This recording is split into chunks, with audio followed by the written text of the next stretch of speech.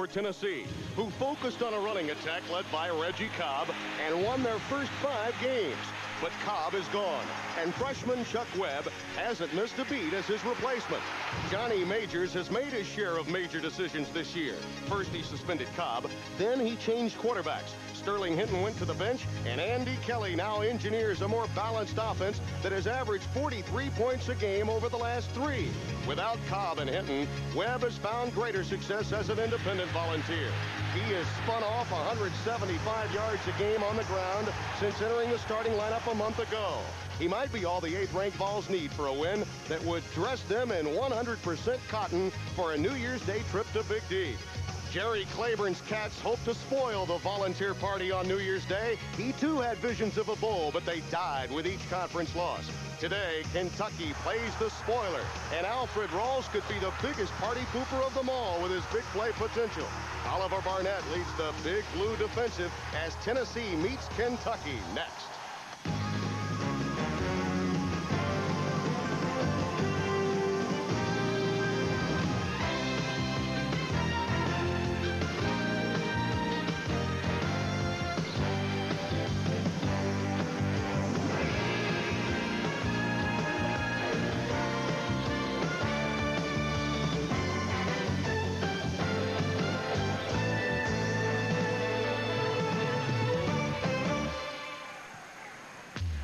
Welcome to my old Kentucky home for college football Saturday. It's the Bluegrass here in the Commonwealth, and today the Kentucky Wildcats play host to the Volunteers of Tennessee. We're live.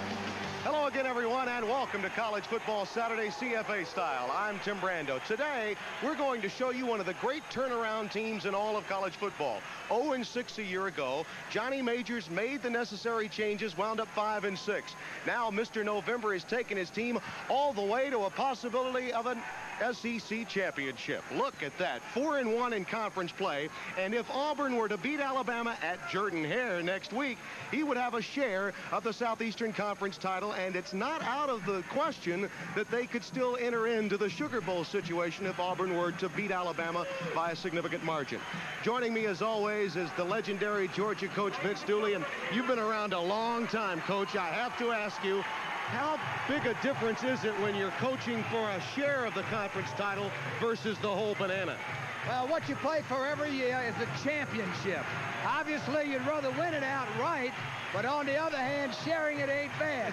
As a matter of fact, if Tennessee wins today and it falls into place, then they would have earned the right to wear the mantle of a champion. And that's the goal of every football team. Now, Tennessee's lone loss was to Alabama in Birmingham, but I know something happened in that game, Vince, that really caught your eye. Well, late in the first quarter, Coach Johnny Majors made a decision to change quarterbacks. He put in his number two quarterback, Andy Kelly.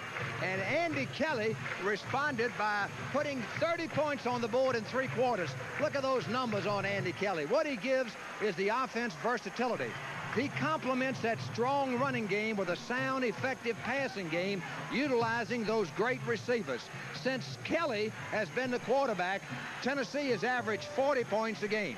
Yeah, but it's the running game that's the base, and the reason it's such a great base is the massive size of that offensive line.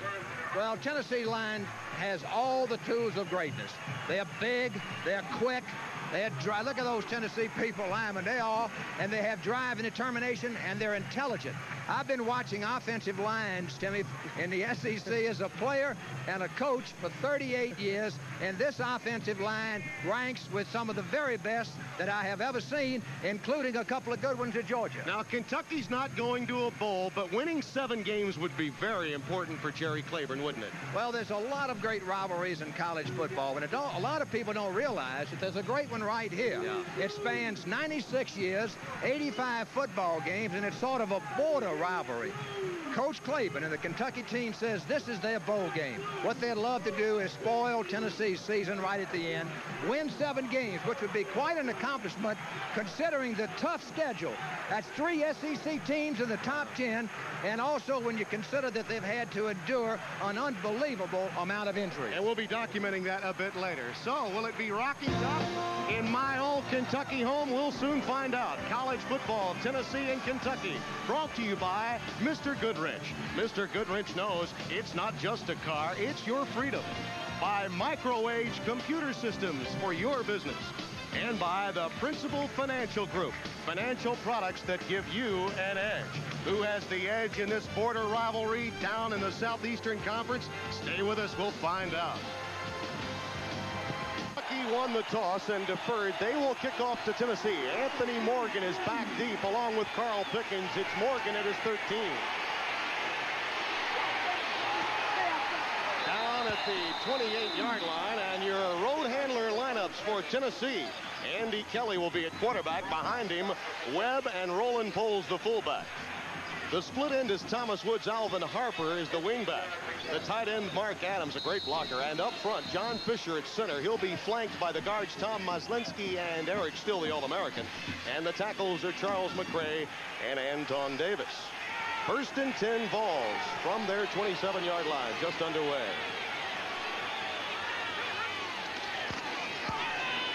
Webb, he gets three up to the 30-yard line. The Kentucky defense, the wide tackle six, Jerry Bell and Joey Couch are the defensive guards. The tackles, Oliver Barnett and Doug Hauser.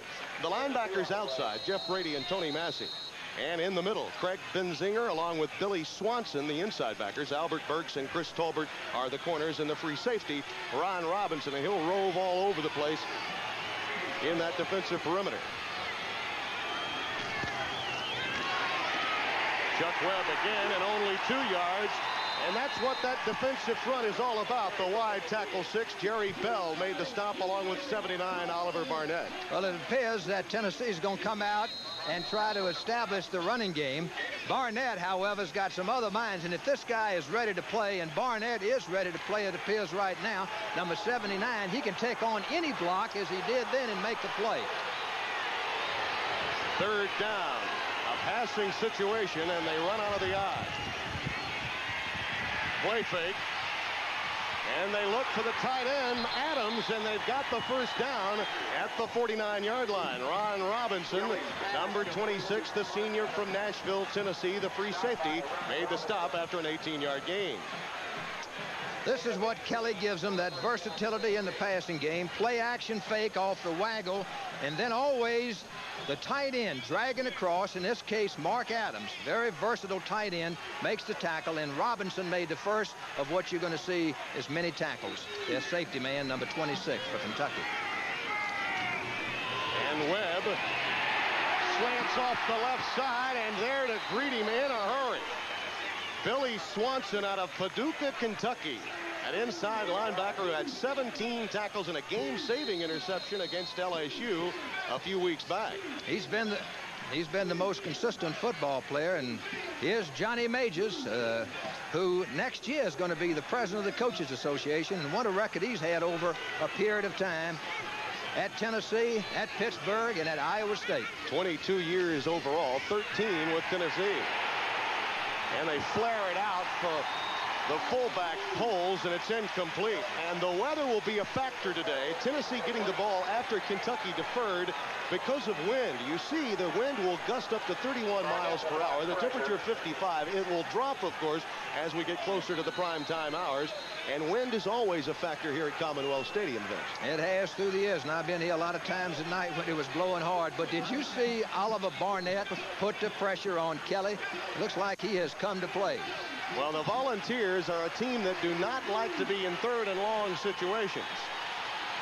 And you see they're converging 48% of the time through the course of this season. A deep pattern is incomplete, but Harper was there. Alvin Harper was by at least three steps beyond Ron Robinson. The pass a bit overthrown.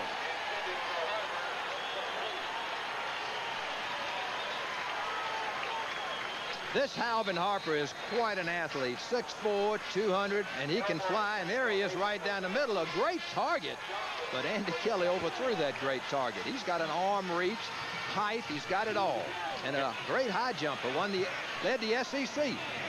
Elmore punts it down, and it will be down by the Volunteers at the two-yard line.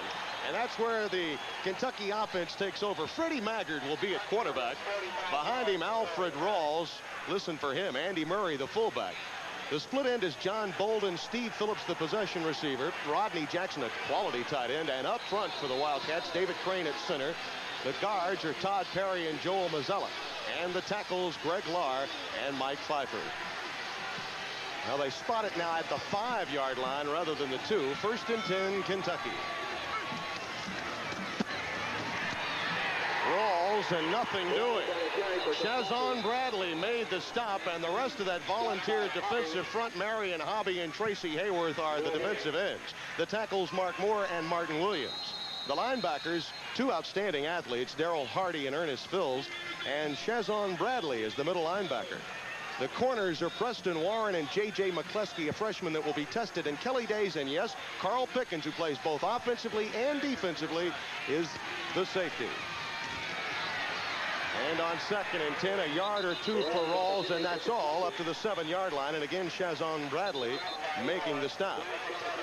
We talked about the big uh, Tennessee offensive line, but Kentucky's offensive line is big, too. They're huge, particularly Mike uh, Pfeiffer, who is 6'7", 305, their right tackle.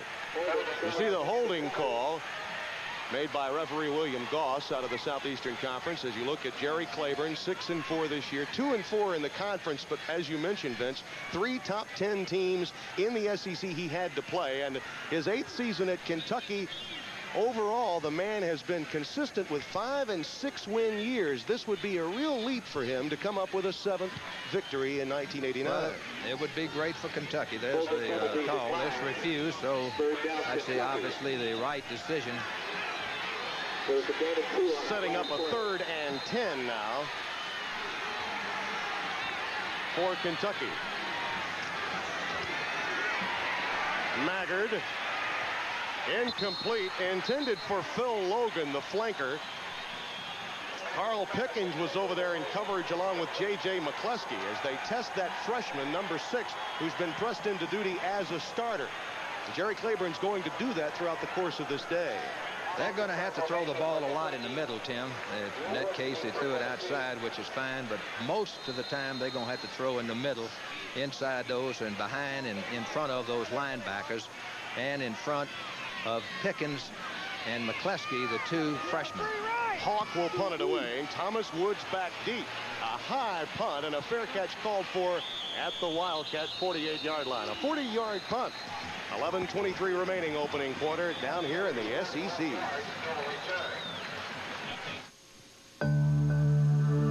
There's something elemental in us all. A basic need to seek out for ourselves a quiet place Oshkosh now makes clothing for that search. Clothing that brings together the soul of both nature and man. Rugged, comfortable, enduring. Celebrate your natural instincts in Oshkosh Sportswear. Now available at Sears. ESPN's College Football Saturday, Tennessee and Kentucky, brought to you by Ford and your Ford dealer. Have you driven a Ford lately?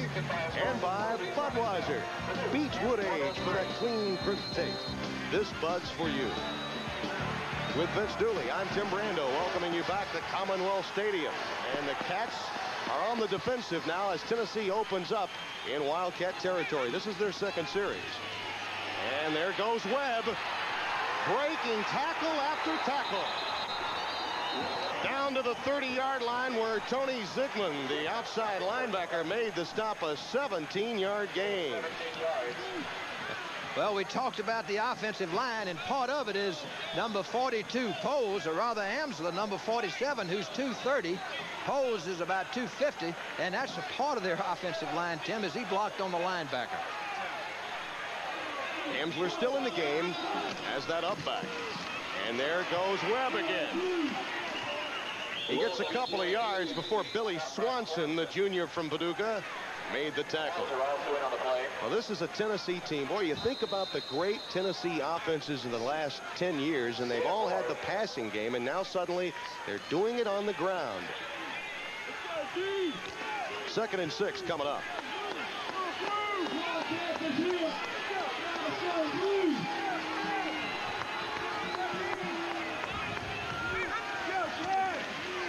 Webb behind Amsler. That's a first down.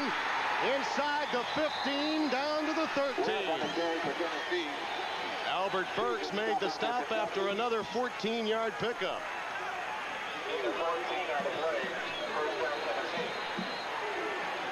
Chuck Webb continues to get good blocking from the fullback Amsler, who blocks out a man right there. He cuts back inside. And Chuck Webb has just been amazing. 175-yard average since he's been a starter. First and 10, Tennessee.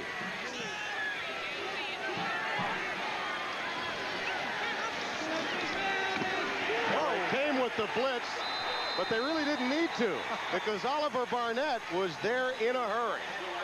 Gosh, this guy is quick and he is big. He's about 296.3 and he can run and he's quick. And there was a little stunt there and what a play he made. Amsler was lucky to hold on to the football. That's where you get a lot of fumbles with that kind of play, hitting people at the line of scrimmage. First carry for anyone other than Webb in Tennessee's backfield, and it goes for minus yardage. Now they give it to Webb this time. Cuts it back inside. Doug Hauser from behind, and Billy Swanson converge on the stop. Doug Hauser, number 99, the senior from Aliquippa, Pennsylvania plays with outstanding technique, according to defensive coordinator Terry Strock, the down lineman coach for Jerry Claiborne's club. And defensive coordinator, he's been with Jerry about eight years at Kentucky and 10 years at Maryland, and a good one. Third down and eight, and the fans are on their feet here in Kentucky. They adjust Harper, number 81, as he goes into a pass pattern.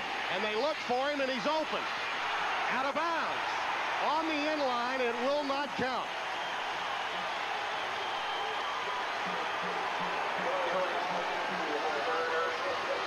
They may have audibled into this pass pattern. Well, they've got him spread out, and it's a game of inches. And he put the ball up high where only Harper with that great height can reach it. He's there, but he comes down just outside, just a little bit too high. So it'll be a field goal try now for the Volunteers. Harper certainly lobbying. Greg Burke will now try 9 out of 10 this year, as long as 49. This one just 29 yards. And Tennessee takes the 3-0 lead, and you can credit field position and one good carry by Chuck Webb to set up the three. Well, here's another look at it. Let's see if he was in bounds. Swanson made him throw the ball higher. Let's see. He comes down. Uh, one foot. One looks foot. like the one foot was in, but the, the first foot may have come out of bounds first. Stay with us. Greg Burke will now kick off for Tennessee. They lead by three. 8.35 remaining in the opening quarter. The Volunteers 8 and 1 overall, trying to remain in the Southeastern Conference hunt. And it's a squib kick that's fumbled and recovered by Tennessee. Steve Phillips fumbled at the up back, and the Volunteers strike in a hurry. There is number 25. He couldn't find the handle. Here's the squib, and it just bounces off the Kentucky man, and Tennessee was right there. I don't think they anticipated this happening, but uh, what a great uh, break for Tennessee early. Wes Lowe made the recovery number two in the white jersey. And the Volunteers now have it at Kentucky's 38. Webb to the 35-yard line. Jerry Bell made the stop. Other scores today, Michigan on their way to Pasadena with that 10-point win. Illinois beating Northwestern also in the Big Ten. Georgia Tech beating BC. They get Georgia in that big game in Atlanta coming oh, up next gonna week. be a tough one too. Purdue and Indiana, 15 to 14. That game's still in the fourth. Play fake to Webb, and the deep pattern is thrown, and it's knocked down. Intercepted by Tolbert. They'll rule it an incompleted pass, though. He was out of bounds. He knocked it away defensively. It appeared for the moment that he may have had the interception, Vince. Here it is right here. Chris Tolbert, excellent position. Let's see. Oh, my goodness. I thought his knee went down as his foot went down. Tough call. The official was right there, though. I don't know. Might have been an interception. Thomas Woods was the intended receiver. Pass was underthrown. Third and eight. They dump it. Amsler couldn't find it. Kentucky nearly got it on the tip drill, so the Wildcat defense responds after the turnover on the kick.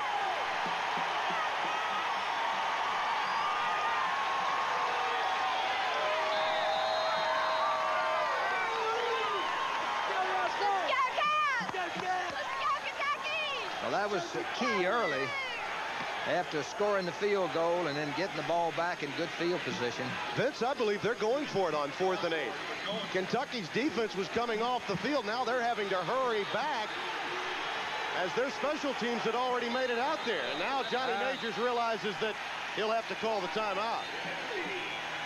He wanted to do it in a hurry, is what Johnny probably says, mm -hmm. and it's uh, just too slow. I don't know. I think he might change his mind now. Well, remember, field position is what brought forth the three points because they were able to bury Kentucky inside the five, and they got it on the plus side of the field at the 48-yard line before getting the field goal to make it a 3-0 game. So they could give up field position. Well, Chuck Webb already having an outstanding game and certainly his season. Look at that. In the first five games, remember Reggie Cobb was playing at that time. He had 346 yards. Cobb had 616 upon his suspension. So they were both headed for 1,000-yard seasons, but look what he's done since Reggie left. Well, when he suspended Cobb, I really felt like that this wouldn't hurt Tennessee because I knew about Chuck Webb. Now they're changing it. Man, I believe that Johnny said, wait a minute, wait a minute. Mm -hmm. I'm from Tennessee, and this is the way we played football there for a long, long yeah. time. I think Johnny felt like if we could get out there, surprise them quick, hit them quick, we'd go ahead and do it. Catch them while they were celebrating. Webb, by the way, has 45 yards so far today. And again, Elmore punts it inside the five. This time does not get the help of the bounce, and the Wildcats will start from their 20-yard line. A 36-yard punt by Elmore. 3-0 our score. Let's get you to Bob Carpenter.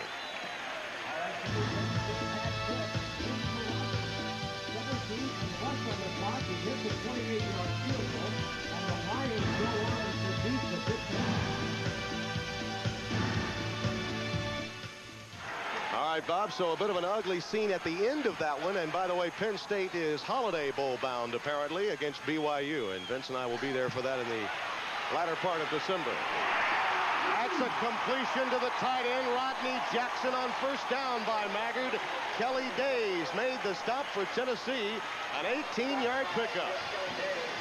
What a great job by Maggard coming back inside the block of the pulling guard and then finding Jackson open. Just an excellent play that a lot of times you don't see sophomores or juniors be able to do that kind of situation. And uh, he is just a sophomore. Made a great play, I thought.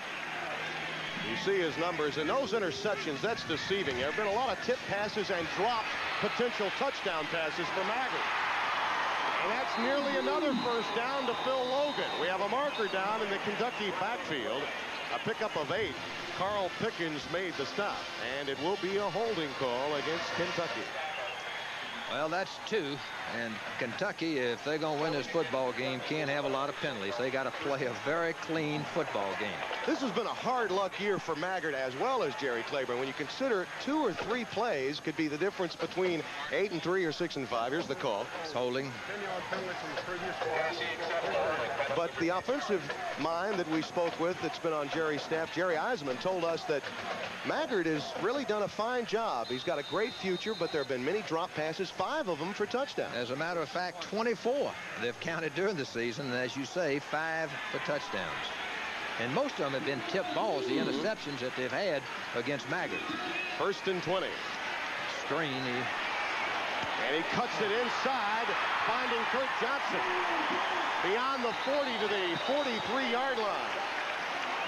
So they're within six yards of a first down as you look at scores from the NBA. And don't forget more from the college football scoreboard and Bob Carpenter after our game this afternoon. I thought Maggard here had tipped the screen. He's looking, he's looking. In fact, he fakes it a little bit and then turns right back. It hits this little Kurt Johnson. And when I say little, I mean little. He's 5'7", 140.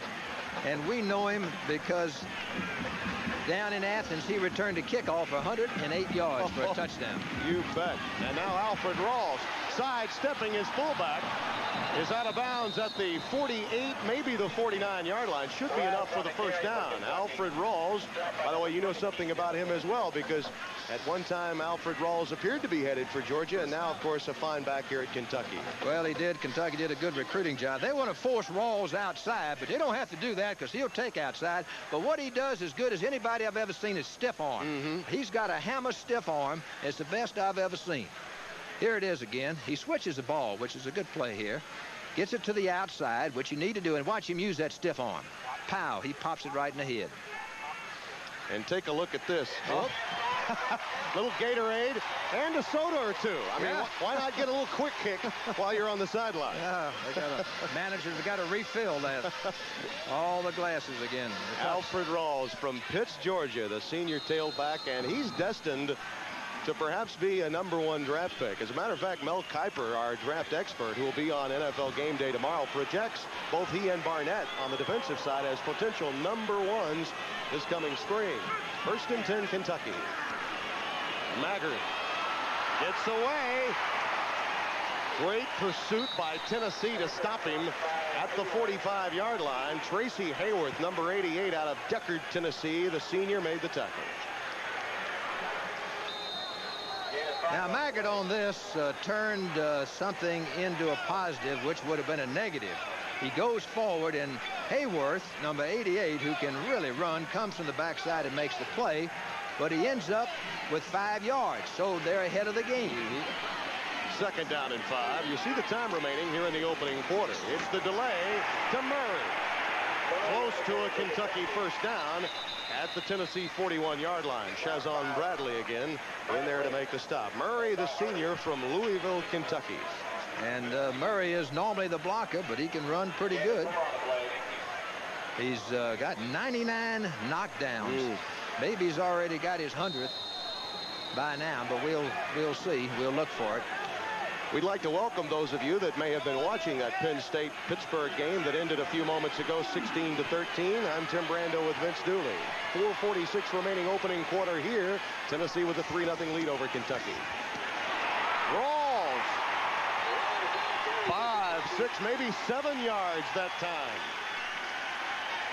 And a Kentucky first down for certain on the third and short. Ernest Fields, number 23, the inside linebacker, made the stop. Well, he goes behind Mazzella, number 63, and Pfeiffer turning out, number 75. Gets a good block from the fullback, Murray, who probably got his 100th, and then breaks out for positive yards in good field position now. Rawls, nice hole. Bounces outside, fumbles it. It will be controlled by Kentucky at the point of the fumble. Pickens coming up to make the stop, number 15 in white. And again, we can't emphasize this enough. Carl Pickens is doing something, Vince, that very few athletes can ever do. Have you ever had a guy that could play both positions? I've had one in 25, 25 years that has done that. And we'll talk about that later because he is some great athlete, the most natural. Now watch him switch hands here. And you have to be careful and do it. You got to put the ball away. You can't just hold it out there when you switch it because when you do that, that's what happens. Mm -hmm. Pickens knocked it out of there. Second and four, a pickup of six on that run by Rawls. Phillips is the receiver that Maggard wants, and now he tucks Whoa. it in as he popped. Inside the 30, down at the 28, and Carl Pickens nailed it. Carl Pickens, uh, Coach Major says the best natural athlete he's ever coached. Now, that's quite a statement. Here comes Maggard. We'll look for Pickens. Uh, he's just came. He just came to the safety man three three weeks ago. Watch this. Is that natural? I know they've been working on tackling all the time for, for Pickens. Watch this. Hey, came up, got a good lift, got his rear under him. Excellent tackle. As a wide receiver, he's been hung out to dry a few times. Now has a little retaliatory maneuver. Third and five. First down, Kentucky at the 20. Kurt Johnson, the freshman from Paducah, made the catch. What a good job uh, Maggard has done on this drive. He's rolled right, he's rolled left. They want to avoid dropping straight back. They've had a lot of sacks. They had a lot of them against Florida last week. They had a lot of them against Alabama several ball games ago. So they're keeping Tennessee off balance right now. First and 10, just outside the Tennessee 20. Rawls. And a Great block by the tight end, Rodney Jackson, to give him a lane as he's down to the 13-yard line. Shazzon Bradley made the tackle. But the tight end, 85, there you see him out of Tyler, Texas, really lowered the boom on that linebacker or free safety. Well, there's Bradley, who is just an excellent run defensive linebacker. Gets all blocks pretty well and makes the tackle right there.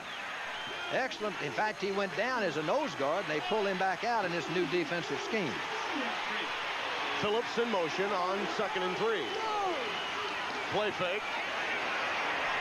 Maggard. Out of bounds. At the 10-yard line.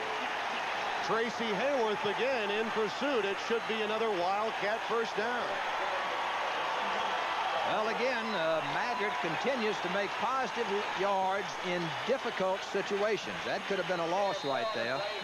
But he made the right decision and went ahead and made the first down.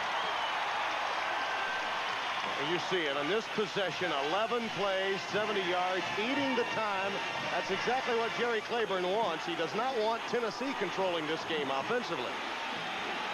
They want to keep that offense on the bench and do it with long drives. Rawls, nice cutback inside the 10 down to the 7-yard line. Martin Williams, number 66, the senior from Charleston, South Carolina. All 5'11", 270 pounds of him. Atop Rawls. There he is. Tim, they've got the big fullback in there, Rodney Shepard. He's 5'11", 260, the Buffalo. That's what they call him, the Buffalo. And at 260, they say looks like a Buffalo, 5'11", 260. Yeah. He's number 41. You'd want to know why they called him Buffalo, and they told us. Yeah. Second and goal. Rawls. Look out. Touchdown, Kentucky.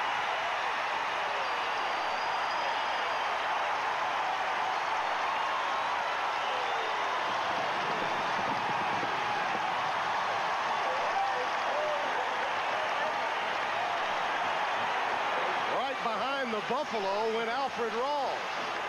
And the Wildcats have the lead for the first time.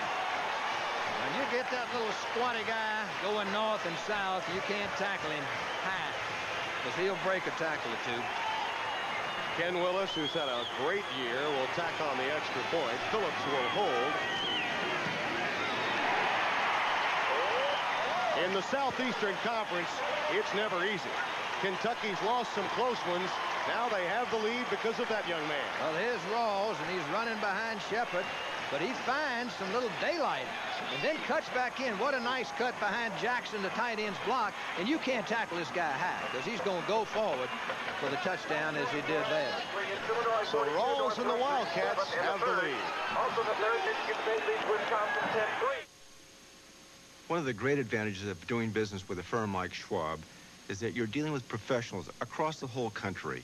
They're creating... Saints are in search of the wild card. Mike Patrick and Joe Theismann will have that one for you tomorrow night. Here, I'm Tim Brando with Vince Dooley. It's 7-3 Kentucky. And the kickoff will come down to either Morgan or Pickens. Morgan again, or check that, Pickens at the 12. Pickens gets it back to the 30-yard line. Brad Armstead running him out of bounds. And let's take a look at the Buffalo. Look at Shepard, number 41, and the Buffalo really draws the herd right in there. And Rawls said, look, I'm not going in that crack. I'm going to find me a hole, which he does outside. Here's again the Buffalo there's a lot of people, so he finds the daylight and cuts back in.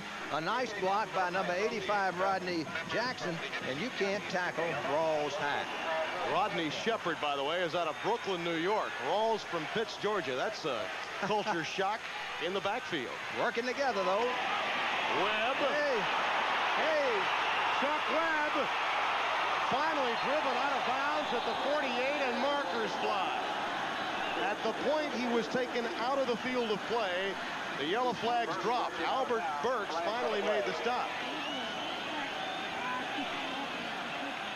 Well, number 50, Myslinski, and the center Fisher, who has really become a good blocker. Look at Myslinski. I tell you, I can run that way. No, not quite that way, but I, if you get that kind of hole, there's a lot of mm. lot of backs that can be good backs and make great backs. You combine that together. There's a face mask. face mask violation by the defense. A five-yard penalty from the end of the run. So, so Burks apparently got some of the face mask because he took him out. That tacks on five more yards, and it will be at the 38. Well, here's let's see if we can see the face mask. Oh, he has the face mask of the oh, potential blocker. Yeah. he has Vince Moore's face mask, the other wide receiver. First and 10. Mm, good defense.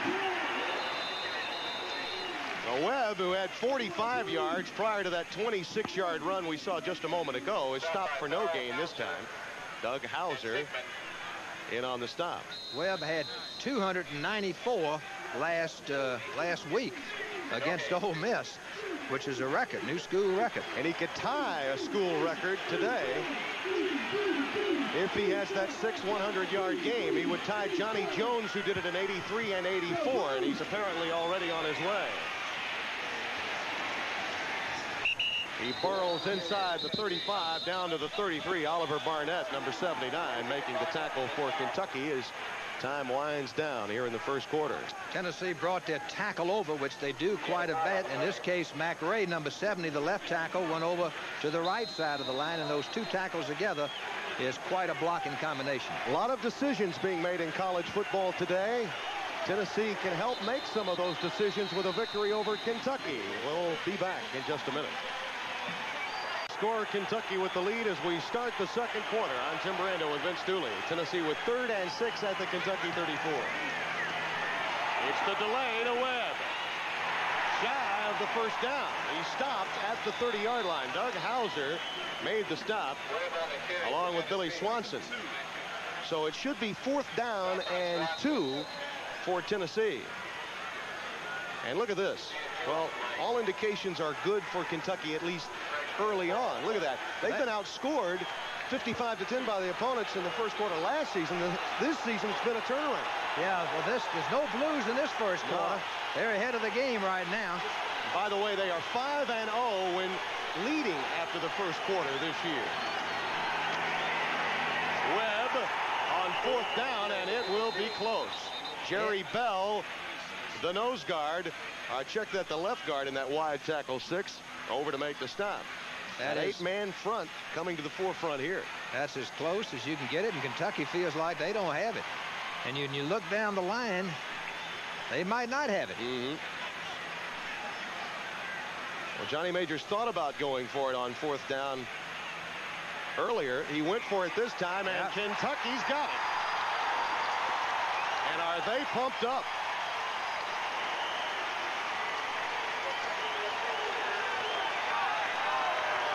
You can knock Kentucky off the ball, but you won't keep them locked off the ball because they will recover in a hurry. And what a nice play by Bell, number 98, who is the key in their defense. And this is really an interesting thing, Tim, because, and we'll talk about it later, but I want to tell you about Tennessee being stopped in this situation. On first and 10, Mike Thomas, the motion back, number 32. And they'll throw it for him. He's got it. Mike Thomas has a first down to the 41-yard line. Carl Pickens again over there to make the stop. Let's talk about that point you were making about them being stopped. Well, what has happened, Tennessee probably since this season, once they've gotten inside that 35-yard line, has put points on the board probably 19 of 21 or 23 times. Very seldom have they been stopped once they got into four-down territory, and Kentucky has just done it. Tennessee's defense has been a question. You saw the offensive staff talking to that offensive line.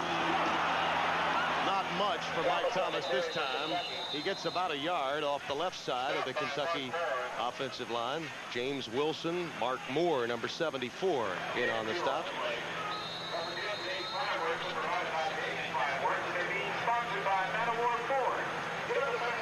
That's Mon Reeves you saw on the telephone getting some words from his offensive coordinator, Phillip Fulmer.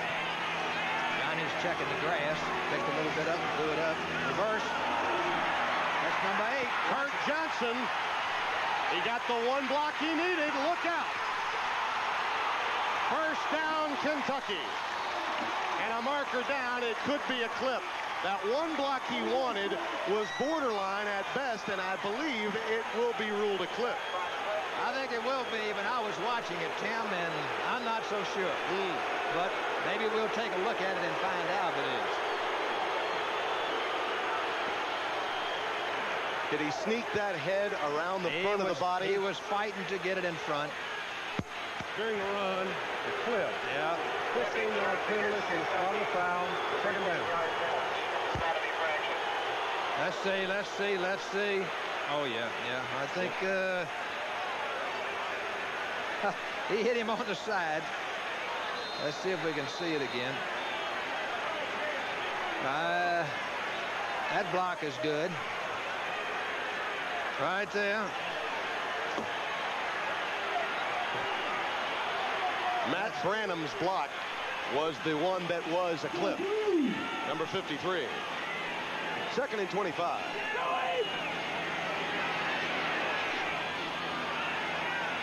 That's a catch for Kentucky, number 29, Darren Bilberry.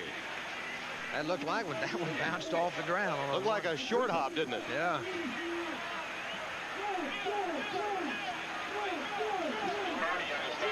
Well, once again, Kentucky cannot afford penalties. That's the third big one for Kentucky.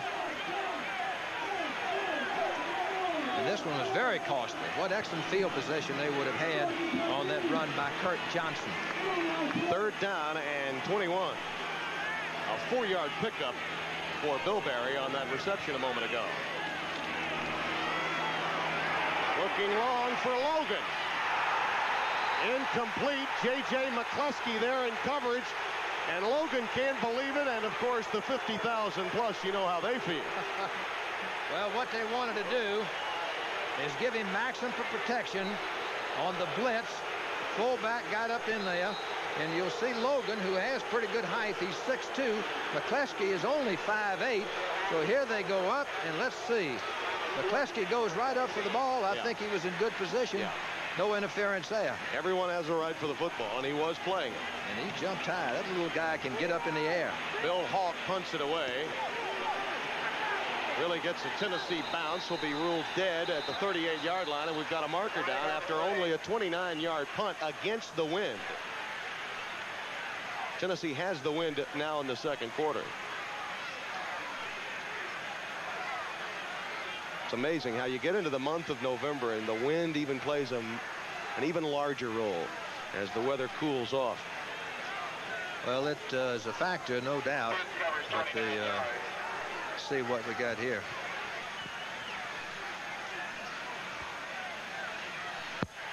There was a clip while the ball was loose on the white team. 15-yard penalty from the end of the kick. First down. Well, you rarely see that when the punt is as short as that one was. That will back Tennessee up when we come back. Second quarter. Football resting at the 23-yard line of Tennessee on first and 10. And they pitch it to Webb behind Amsler, the fullback. Another five yards or so before Billy Swanson comes up along with Ron Robinson to make the tackle. So, our storyline, Lexington, Kentucky. Both teams moving the ball well. Webb already 76 yards, well on his way to a 100-yard day, but Rawls countering with eight rushes for 38 yards and a touchdown.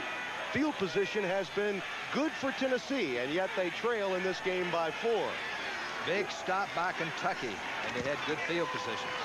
Webb bouncing outside. Boy, he's compared so often to Emmitt Smith. He may even be faster than Emmitt. We have a marker down. The reason I think he's been compared to Emmitt Smith, Vince, is because he sheds as many would-be tacklers as the Florida star. Yeah, well, I think he's fast. In fact, he's got very deceiving speed, but there was an indication of it as he bounced outside. He's, he's the fastest man, Coach Majors told me, on the football team, and I wouldn't have believed that until he told me that. Our referee, William Goss, has been busy so far today. A number of penalty flags. And you see Webb on the sidelines getting a bit of a blow. Holding by the offense. penalty A lot of holding penalties so far today, particularly this late in the year. Coaches can't stand seeing that. Let's see. We'll look for it on the left of the screen. There's got to be some holding. It looks like a takedown almost. Yeah, the official throws that flag right in that direction. The Tennessee man disappears out of the screen. I think there were two of them. Two holders? A regular convoy of holding going on. Second and 10. Or check that. Second, yes. Second and nine. They come. Kelly will get out of bounds. And there come the flags. Jerry Bell was right there and he'll be flagged. This has been a point of emphasis all year long, and it'll be a 15-yarder against Kentucky.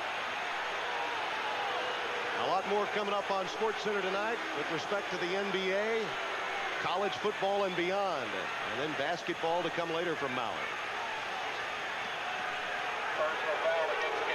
Jerry Claiborne told me that the play of, of Jerry Bell, number 98, was the key to this ball game. And let's see if he hits him out of bounds.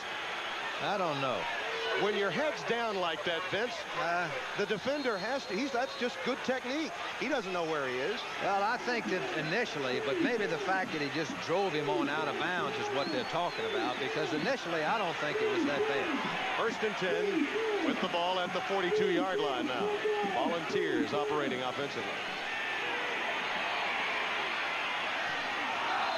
They'll rule that one incomplete, out of bounds. Intended for Morgan. And there's Jerry Bell down there. Now, he has he's had a bad back. He's been hurt, uh, and he didn't play in the Florida game last week, which really hurt him. But this guy, Jerry Bell, a real key. He's just a sophomore, and he's going to be a great player. Well, he fell down the steps in the dormitory. Yeah. it's bad enough when you get injured on the playing field. I've had that happen to me right before key ball games. You lose a player off the field, and it really hurts. Kelly one for seven in the air thus far. And he'll take a three-step drop and find his man, Thomas Woods. That could be enough for the first down. Tony Missick, number 27, the senior from Miami, Florida, made the tackle for Kentucky. Tennessee and Kelly's got to do this. They've got to throw those little quick eight, six, and seven yard quick passes because Kentucky will come with you with a lot of blitz. They'll come with you with eight people. And they're going to move those outside ends back and forth to deceive it. And the quarterback's got to be able to pick it up and read it like he did just then. Yet another different formation for the Volunteers. And Hit again, it again. Yep. Right on target to Woods, and it's close to another first down. You saw number six, Tony Massey, who is the outside linebacker, or the end. Come, you'll see Massey right here, and he's he's blitzing. And if you're reading, as Kelly did right here, he saw it, and quickly, and you'll see Massey come up, which leaves now one-on-one -on -one situation with Woods and Missy, number 27. Well, we may see yet another major change in the Majors offense here in the second quarter of this one. First and 10 at the Kentucky 36. Play fake, and he's looking to throw. He goes underneath to the tight end, Vaughn Reeves, number 89, the sophomore from Knoxville, Tennessee. Benzinger, Craig Benzinger, number 44, was the linebacker underneath. And Kelly now with three quick completions, all of the short variety. And hitting the tight end, they don't throw to him as, as much, but Benzinger is from Stone Mountain, Georgia. Close by Athens and Atlanta, and a, just a tough, good football player. Two of Kelly's completions have been to tight ends today. Second and four. There it is again. Same play, and Wood steps out of bounds. He does have the first down inside the 25-yard line. It is amazing, though, to watch Johnny Majors change an offensive scheme through the course of a game. These are adjustments being made. I asked him last night when we spoke why all the changes in his 22 years, and I think he, he, he, he believes that because he's coached in the Big Eight at Iowa State, the East with Pitt, and now at Tennessee with inferior talent and superior talent, that's why he's been able to make he's those He's coached a lot of different places, but he's fundamentally a sound Tennessee football coach. Block and tackle and run the football. There it goes. Amsler, the fullback, inside the 20 down to the 18-yard line. This final Saturday in the month of November, bringing a lot of key college football games. Illinois winning big over Northwestern now in the third. Michigan State, maybe the best four-loss team in America, on their way to victory. Purdue beating Indiana. Now that cost the Hoosiers a bowl game. They're five and six. They had to win that game. And Air Force leading Utah in the third. So Kentucky may still have a chance, huh? Plenty of time for Kelly. That's out of the end zone to Harper again. The second time that's happened to Alvin Harper. But boy, did Kelly have time to find an open receiver. Well, Kelly had a lot of time. They're up. Obviously, they're going to throw the football, but for some reason, the Kentucky team decides to slow rush. You can see that uh, Barnett, number 79, is just dropping off. I think maybe they're figuring a little short pass over the middle and they can jump up and knock it down. But no rush by Kentucky whatsoever. Not such great blocking by the offensive line. Third and four. Here they come. And they wrap up the Webb.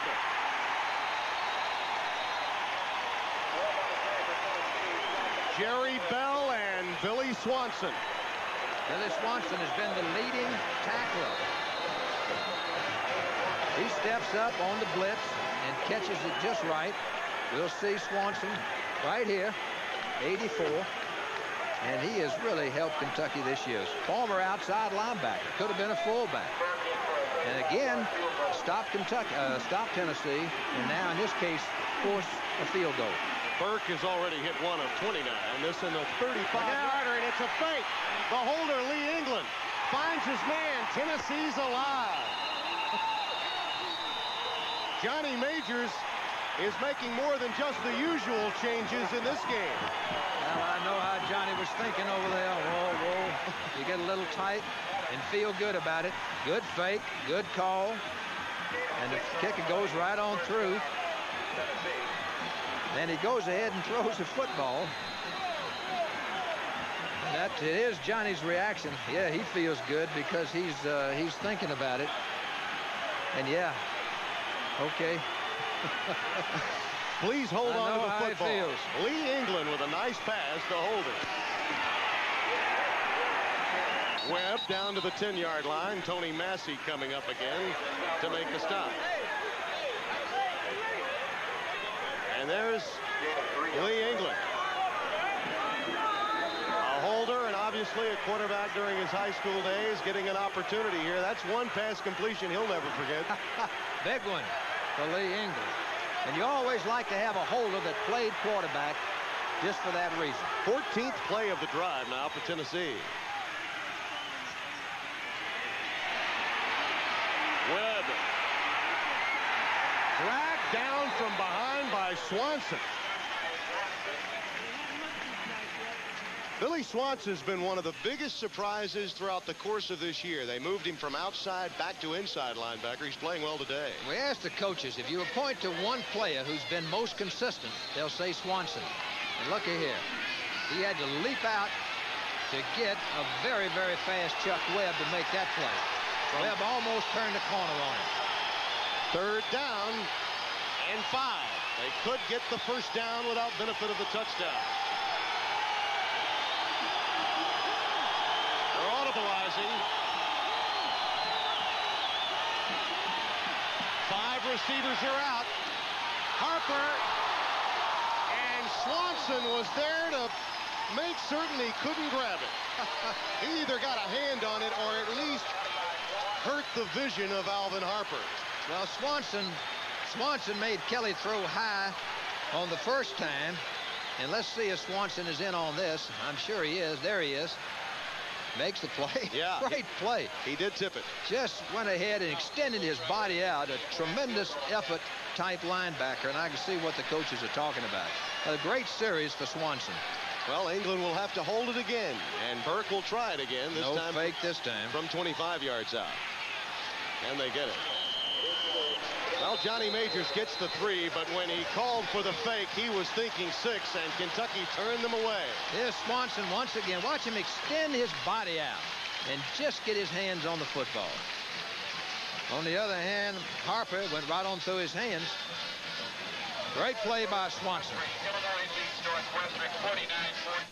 Academic All-American, and as you know, Kentucky led the College Football Association, the Academic Achievement Award, graduation rate 90%.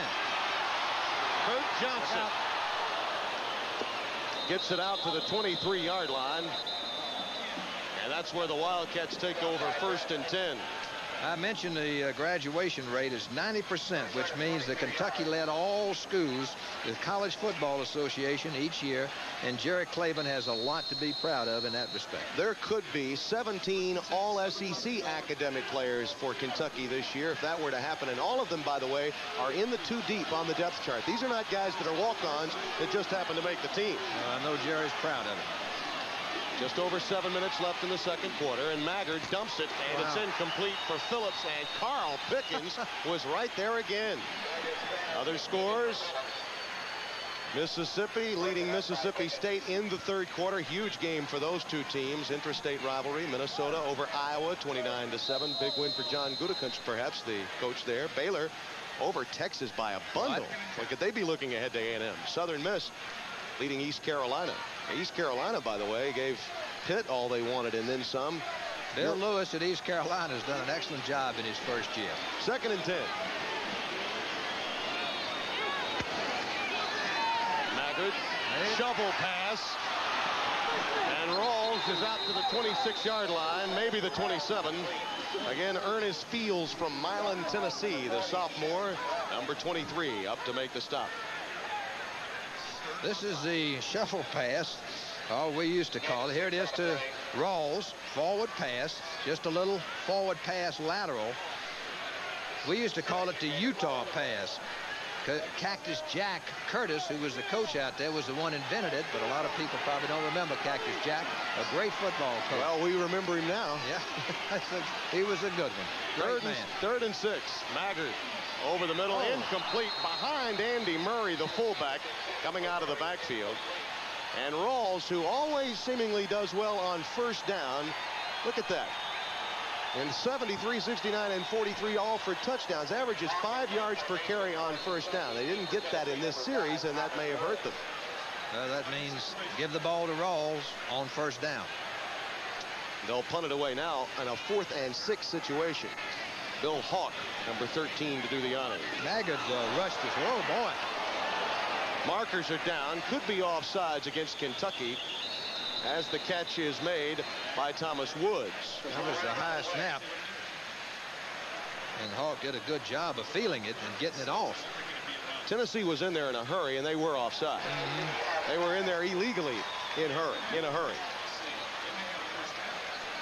So this this would make it a fourth and one rather than fourth and six. So it would still be a punt formation for Kentucky, one would think. It's a 33-yard punt for Hawk, and again against the wind. I think Jerry Claiborne is waving off that penalty.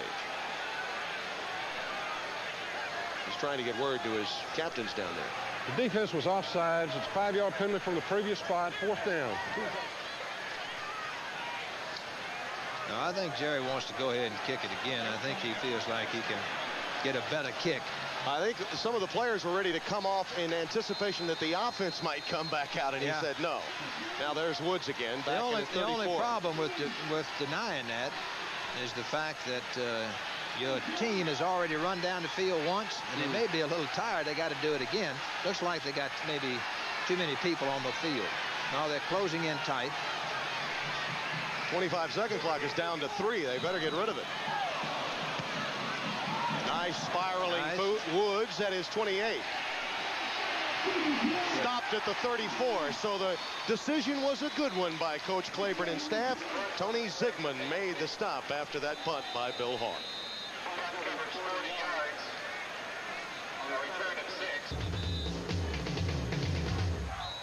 Lexington, Kentucky, Commonwealth Stadium, where the bluegrass turns brown this time of year. I'm Tim Brando, along with Vince Dooley. Ball at the 34-yard line. First down, 10, Tennessee, trailing by one. Got them spread out. Woods, that's the first down at the Kentucky 46. They found a huge seam in that zone, and Woods was open. That's his third catch of the game. The first one downfield, though. Well, that big offensive line of Tennessee certainly gave Kelly a lot of protection. Plenty of time, steps up in there and finds Woods down the middle. And Woods uh, needs only about 20 catches, and he'll uh, break another Tennessee record. Wow. Kelly stands in that pocket a long time, absorbs a hit and a flag because of that hit. Doug Hauser, number 99, converged, and they sandwiched, he and Barnett sandwiched Kelly, and the flag, the end result.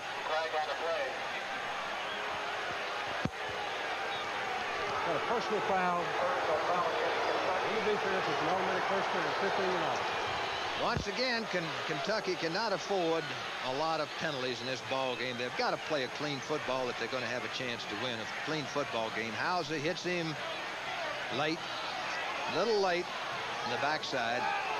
Again, though, that head down, he's going after the tackle, not really re realizing the ball's been released. Well, that's true. Just a little bit too late. But you do have to protect the quarterback, and again, a point of emphasis by all of the officials throughout the country. First and 10 at the Kentucky 31. What's interesting is Carl Pickens is in the game as a receiver. And they threw it to Webb, who hasn't caught a pass all year coming out of the backfield. And he actually was the secondary receiver. Pickens may have been the primary receiver. It's interesting that a guy like Pickens can play both ways, but he can do it. And here he is on offense, and if he's in the ball game, as the coaches say, we're going to throw the ball to him. We're not just going to put him in as a decoy, because to, to play both ways in this day and time really, really is a tremendous compliment to a superb athlete. They'd like to have him in there 20 to 25 plays, as you mentioned. Kelly has six completions on 15 attempts. This could be a passing situation as he checks up. They're trying to hide it. And we got a marker down. There was some movement by Tennessee as they were trying to make that adjustment. And the flag, the end result, too much time. game on the offense. And that disturbs Johnny. And what's what's going on is that Tennessee, that Kentucky is trying to give Tennessee different looks, trying to give Andy Kelly a lot of good looks. Here's Carl, Pickens. yeah, Carl Pickens. Now remember this when you talk about the effectiveness of Carl Pickens. He plays both offensively and defensively, and you mentioned you had one player. I want to know who that player was as we look at the three areas where he has been successful. Offense, defense, and touchdowns Yeah. in each one. Obviously receiving a touchdown, a kickoff return for a touchdown, and then an interception for a touchdown. All right, who was that player that you had that went both ways? His name is Ray Donaldson. We moved him to center, not both ways. We moved him to center in the middle of the season, and he never played center in his life and started a football game. He's still playing, I might add, for the Baltimore Colts at center, and he's been up there about 10 or 12 years. Pickens with a couple of interceptions this year, and one of them, of course, returned for a touchdown. There's a conversation taking place now between Johnny Majors and the officials relative to that flag and the 25-second clock. And now the referee, William Goss, over to talk to Jerry Claiborne about it. And that's Tommy Larino, official from the conference, who played for me at Auburn many, many years ago. I was a backfield coach. Tommy's an excellent official. He's the line judge working There's with Tommy Goss. to the left right Yeah. there. Great little halfback. Usually, Vince, when you see this, both coaches being informed, it has something to do with the 25-second clock. Again, we're only speculating here, but no time is showing on that 25-second clock. That, of course, gives the teams the amount of time between plays and cost Johnny Majors five yards. There you see it. Well, that's normally the case, and I don't even know how we uh, played football without the 25-second clock, but we did for a long, long time. Because you never knew, the quarterback never knew how much time he had left. A lot of coaches believe the clock should be put underneath the crossbar, so it's within the vision of the quarterback. Well, I wish they'd all get him in the same place, whatever, wherever it is. Be consistent. Second and 15. Good rush. Good rush. Barnett. Oh, he gets away from him, though. And finally, Kelly hauled down at the 35 by Joey Couch, number 48, out of Paintsville, Kentucky. 6'1", 248-pound sophomore. Well, that's a great example of what Oliver Barnett can do. He can, he can come when he wants to, and a real possible number one draft choice. He flushes him right there, and then Kelly gets off, and Joey Couch comes in in a diving tackle. He's uh, overachiever, former fullback. That's why he has a 48 number. Third and 15. Kelly. There goes. He'll tuck it away, and Couch ushers him out of bounds at the 33-yard line. So Tennessee again shut down in Kentucky territory, not being able to convert when they have the good field position. Well, there's Couch, and uh, what a hustler he is, an overachiever, as I say, a former fullback. That's why he runs, he wears 48, former linebacker, and he is very, very quick and gutsy. And he's tired. Burke now will try a field goal try. 51 yards, apparently, as they line it up at the 42. It will be a 52-yard attempt. That one's partially blocked and no good. So Kentucky denies Tennessee yet again with 4.22 remaining, and the crowd appreciates its defense.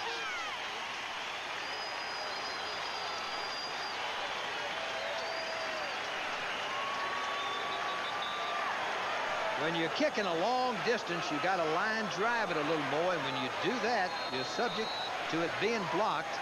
And it looks like that uh, number two, Gary Willis, out of Gainesville, Florida, made that play off the corner. Mm -hmm. Usually you make them up in the front, in the middle. Play action. Maggard dodging would-be tacklers and finding Murray. Andy Murray to the Tennessee 36.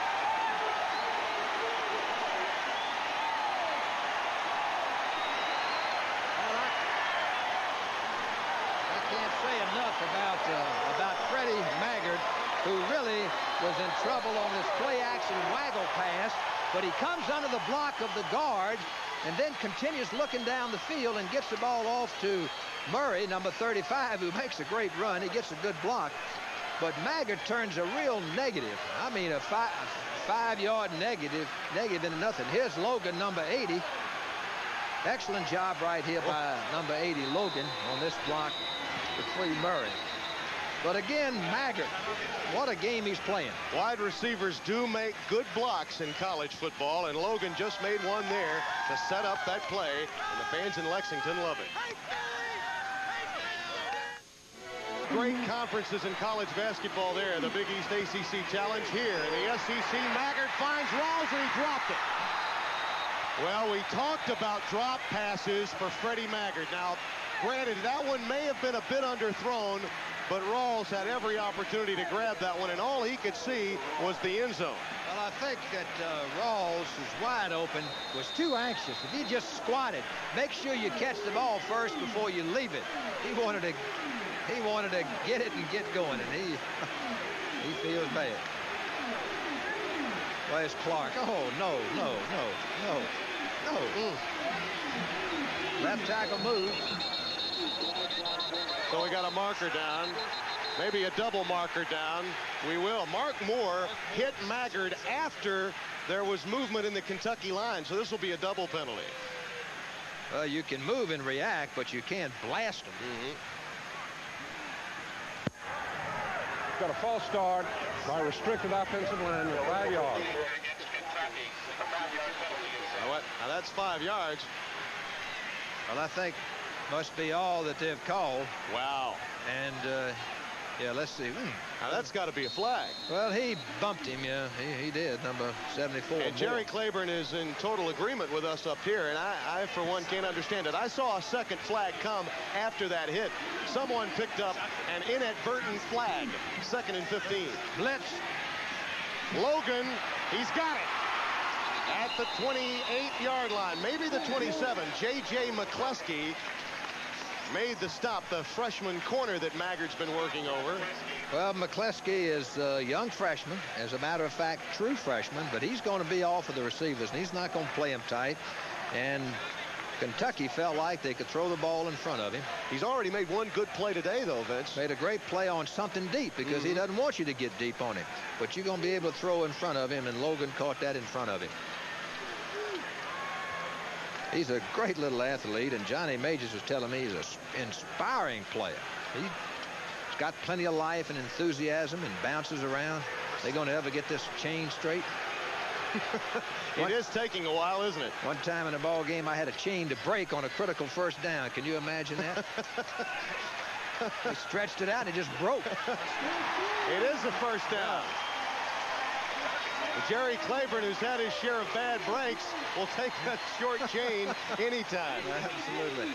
Johnny Majors looking on, realizing his team has really had a number of squandered opportunities here in the first half. Only coming up with six points. First and 10, Kentucky. Rawls. It's hard to run wide on Tennessee. Fields coming up, along with Marion Hobby, number 90, from Irondale, Alabama. Marion Hobby just made a superb defensive play, and he is one fine player. He's He's got 18 big plays, seven pass breakups, and 10 tackles for losses. He does a lot of things, makes a lot of big plays. College football scoreboard coming up after the game, along with Maui basketball. Villanova, North Carolina to start that doubleheader. Whoa! Bill Barry gets it out of bounds at the 30-yard line on the second and 15 play. Daryl Hardy, number 87, knocked him out. Hardy may be, well, he is the best pass rusher, perhaps, could be the best athlete on this very young Tennessee defense. Well, he runs the 40 and 4-5, which is very, very fast, of course. Little light in the britches, so to speak, for a linebacker, but he'll blitz you. A little togetherness in that huddle. Uh, number 75, Big Pfeiffer, and he is big at 305. Third and 13, 250 remaining second quarter. Sprint out action. Now they come back the other way to the tight end, and he drops it. Bobby Henderson. Well, once again, that's Mag 26 drops now for Maggard this year. He had 24 coming in. We've seen two in this series alone. He uh, he's had a great football game. Good call here by uh, by Kentucky. Maggard comes out and then turns back and throws to the tight end on a screen. Excellent Excellent block. And now he's got a chance to really run with the ball with all these blockers. But once again, a drop pass. 47-yard attempt by Willis. It's good.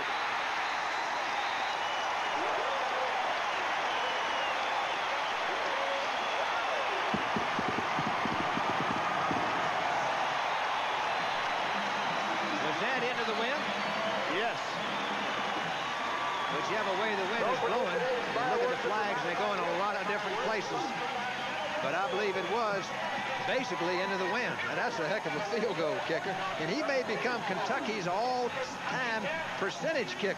Let's see if we can tell if it's good. He's not sure. Yep. It is. Big play here right before half. From Owensboro, Kentucky, Ken Willis. 47 yards into a stiff wind that could gust up to 31 miles per hour. It's been probably at the 17 to 20 mile per hour range throughout most of this first half. Well, they say his range is 55 yards, and when you bunt, hit one into the wind, which will probably cost you about 10 yards, he probably was right within his range. There you see that wind blowing from west to east in this stadium as it is set up here at Commonwealth. And now Willis will kick it off. 2.37 remaining until halftime. Bob Carpenter, Lee Corso, and Beano Cook standing by. And here comes Morgan.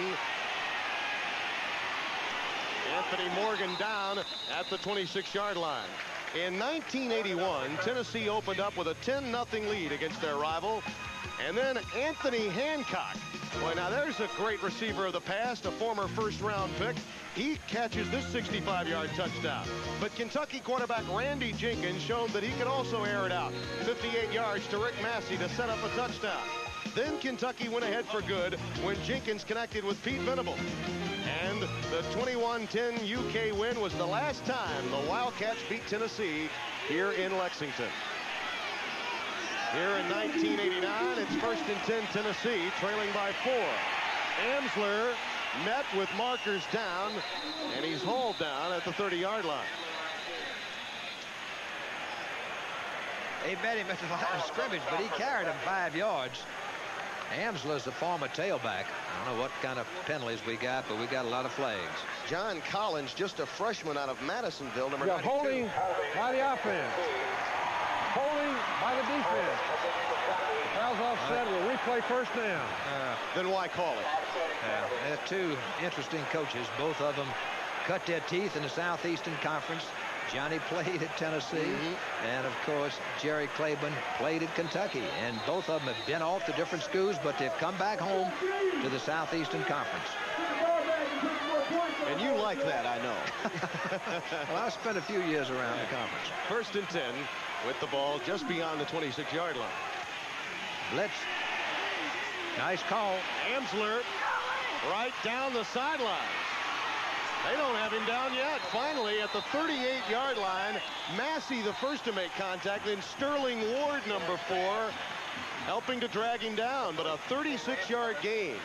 We're at Commonwealth Stadium in Lexington, Kentucky. It's 10-6 with 158 remaining here in the second quarter. Well, it's a good call on a blitz, and if you catch a team in a blitz, then it, the linebacker's got to get out and cover Amsler, and evidently he got blocked. We don't see him anywhere.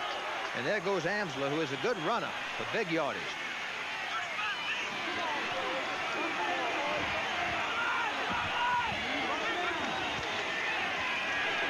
Webb, nice move. Boy, that vision, so important. He saw the opening on the right side, and he's ruled down at the 20-yard line. Forward progress stopped by Swanson and Craig Benzinger. And Alvin Harper being worked on, that right knee being taped up along the Tennessee sidelines. That would be a big loss. He's their best, most physical wide receiver. I mentioned that he's a high jumper. As a matter of fact, he won the Southeastern Conference indoors seven feet two and a half inches. That would be a big loss if you lose Alvin Harper. Much like Herman Moore, who plays at Virginia, we saw last week. That quick out to Woods again. That's eight or nine yards three times in a row they picked up on that pattern bench, and you called it early on in the early portion of this quarter. Chris Tolbert made the stop. That pass is there for the taking if Tennessee wants it. Well, it's there if they catch the outside linebackers right. And the outside linebackers, Brady and Massey, have got to got to play games coming or coming back off to play pass defense. Coming up at halftime, the Railback halftime report. Bob Carpenter, along with Beano Cook and Lee Corso, scores and highlights from today's action. Included in that, an upset as Indiana goes down to Purdue. Big win for Freddie Akers, that intrastate rivalry. And more importantly, the word, of, course, that was unofficial yet official in this bowl system that we're now in in 89 was that Indiana, if they had won that game, would have gone to the Freedom Bowl. So now there's a big opening in Anaheim, and Kentucky would love to get a win to impress those folks, I'm sure. Well, that uh, would be a good possibility, and we still got problems with the bowl and the bowl selections. Uh, I don't think we're right yet, and a lot of our coaches share it. If we had a rule that nobody could take a team that's lost more than four games, I think you'd solve a lot of that those problems because you'd have to wait right to the end to determine which teams will go to which bowl. And so many games this weekend and next weekend are meaningless in the national scope. If that rule were invoked, then many games would become very meaningful, and it would be ultimately good for college football. I agree with you, Vince. Second and two now for Tennessee. You see the timeouts remaining. The balls have one. Webb, that's the first down. Inside the 10, down to the seven-yard line. Craig Benzinger made the stop. He wants to hurry it up, hurry it up, hurry it up. That's what Johnny is saying. At the line. And the 25-second clock is not operating. It shows zero.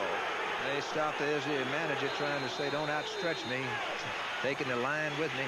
Now the 25-second clock operating again, and Kelly throws. Knocked away.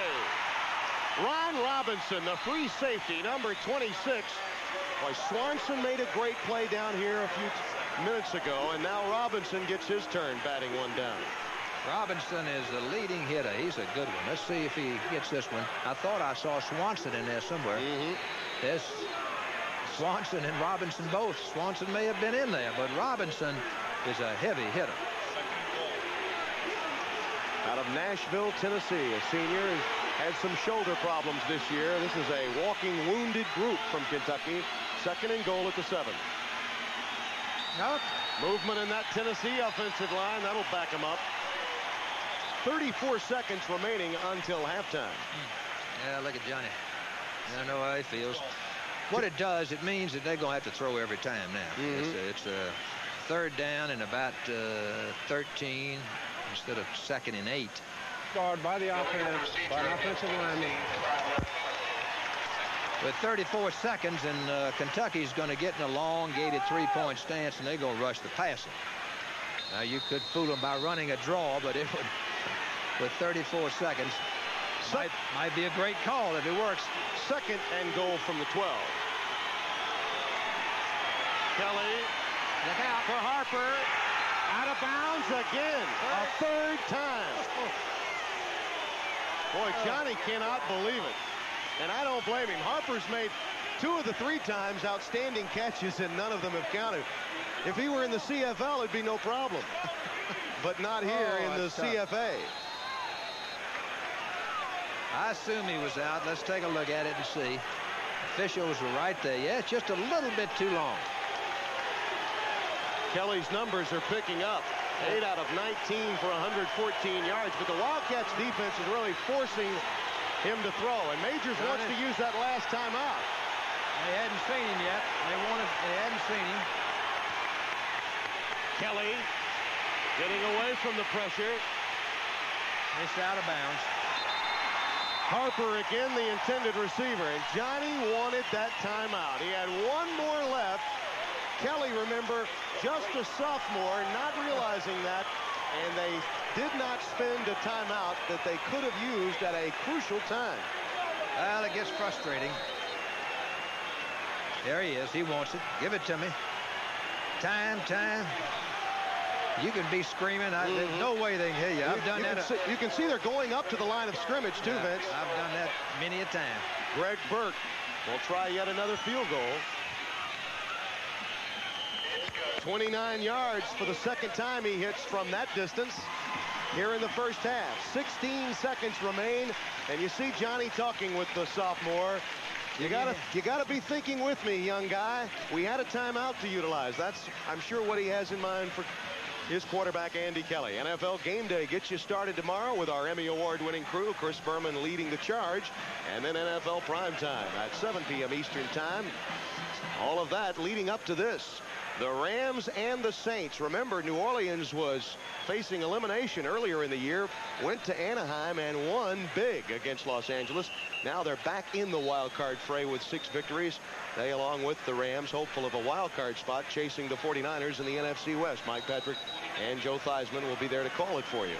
16 seconds remaining here. Kentucky leading Tennessee 10 to 9. I'm Tim Brando with Vince Dooley.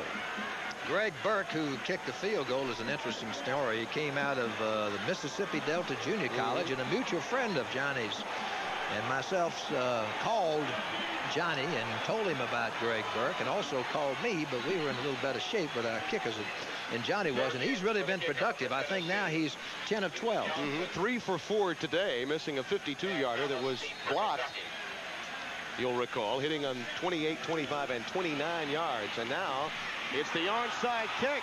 The Vols had a chance, but it's recovered by Kentucky.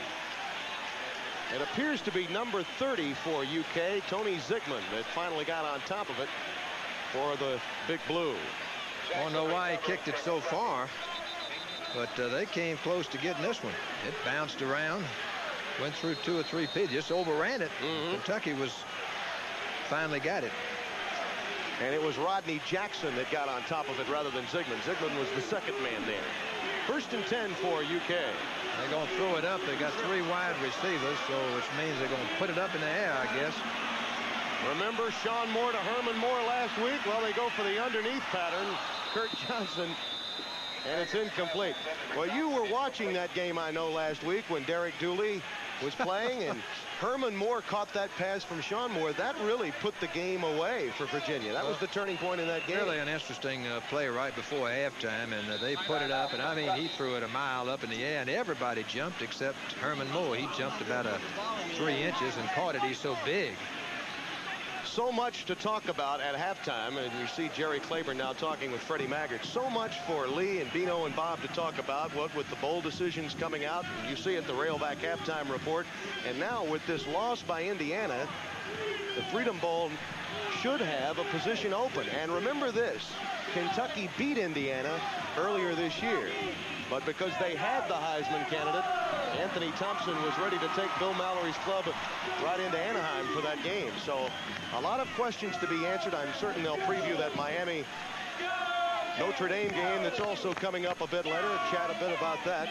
All of that coming up at halftime. You see the timeouts remaining here. Kentucky has one left to use. And, of course, Tennessee would love nothing more to see a zero there. Johnny Majors wanted one before that last third down play. Well, Maggard has got to put the ball uh, in the end zone or close to it. They're going to have any kind of a chance now.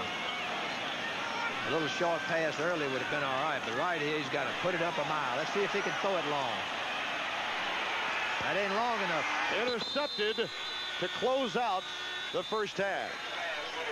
David Bennett, the freshman from Germantown, came down with it, and the Volunteers ranked eighth in the country, hoping for a share of the SEC title and an opportunity to play on New Year's Day, are trailing by one to a Kentucky team that's approaching this game as though it were their bowl game. 10-9 our score. We'll be back in a few moments. Let's get you back now to Bob Carpenter. Grambling and Stephen F. Austin, the group from Nacogdoches, Texas, and Grambling, Louisiana. That is a basketball score, 56 to 52. Here, more of a defensive game, though with a lot of offense. A lot of offense between the 20s. Not much once Tennessee has been able to get inside that 20, they haven't been able to punch it through, and that's been the storyline to this game. Tennessee will kick it off. Greg Burke does the honors, and Kurt Johnson starts at his five. And Johnson finally hauled down at the 20-yard line. The Wildcats were three plays and out to start the game, but then a long drive, 13 plays, 80 yards leading to a touchdown.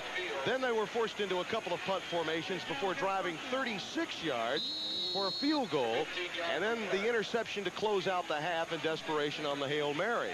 But Kentucky has gotten the most out of its offense, usually starting drives from deep in their own territory. But they've got to possess the football.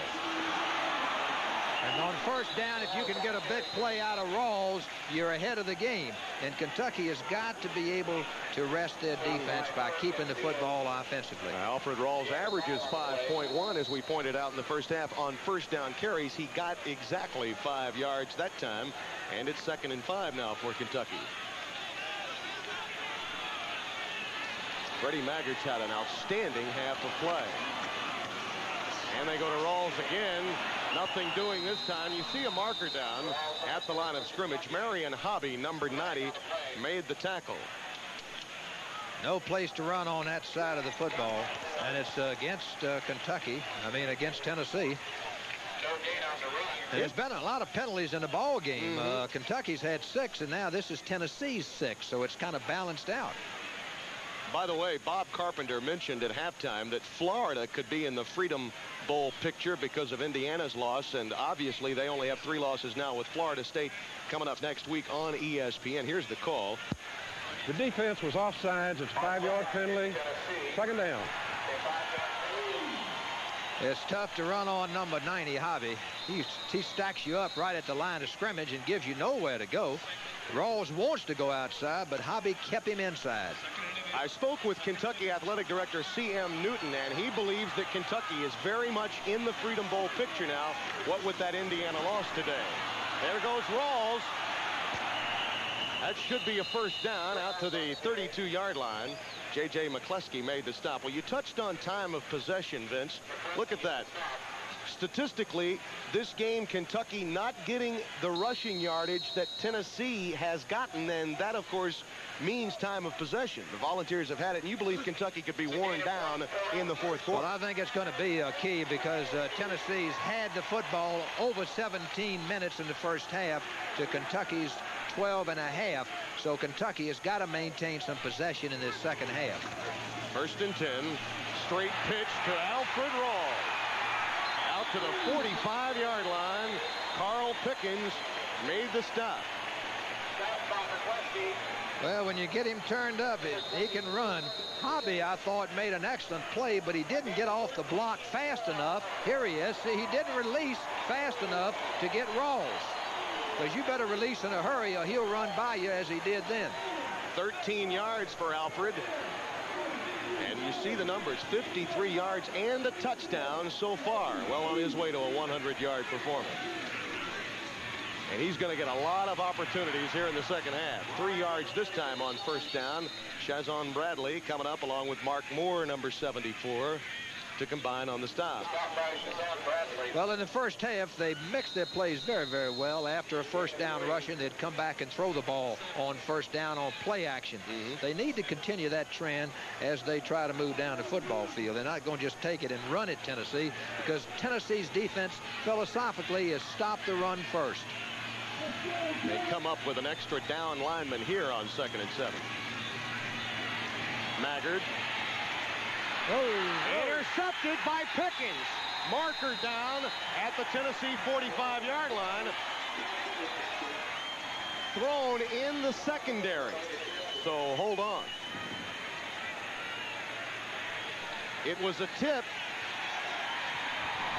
Pass interference by the offense is declined. Yeah, first down. So the Volunteers get it back. Sean Walker apparently tipped this ball. That Pickens is really amazing. This guy's intercepted a pass in every football game and he's been back there. This is a tip ball, but watch the reaction of Pickens. Comes around, quickly gets it. He is an athlete superb. Walker, number 45, made the tip. Just a sophomore out of College Park, Georgia. Sean Walker tipping that one into the hands of Pickens. First and 10, Tennessee at their 45. Webb into Kentucky territory at the 48. We should point out as the marker comes down, Freddie Maggard's had three drops tonight.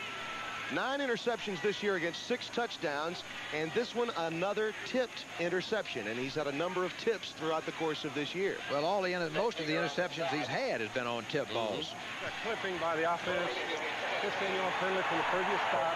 First down again. Well, I don't know if I've seen as many penalties this late in a conference game in a long, long while. Well, we've got about six or seven on each side, and it's uh, it's fortunate for both teams that the other team is, is making just as many as the first team, because otherwise that could really be a factor, but it's kind of a washout now with so many of them having penalties. Jerry Claiborne frustrated. Second and 25. Kelly for Woods. Right back to midfield. Perhaps into Kentucky territory at the 49. Albert Burks makes the stop, the right side corner, number 37. Well, there's a sweet spot right there in the middle. And Woods goes ahead and gets it, then kind of sits down right in there. Ball's thrown well, and Woods continues to catch a lot of footballs. He's had 114 career catches and again only needs about 20 more to break an all-time Tennessee record and that's saying something considering all the great receivers yeah. at Tennessee.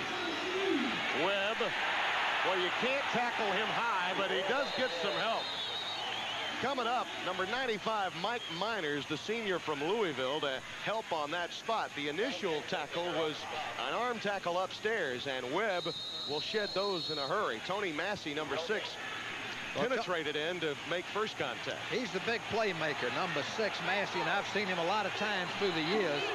And it's a very demanding position because he's got to contain, rush, and also play pass defense in that outside linebacking position. Third and four. Intercepted by Ron Robinson. Kentucky's got it right back.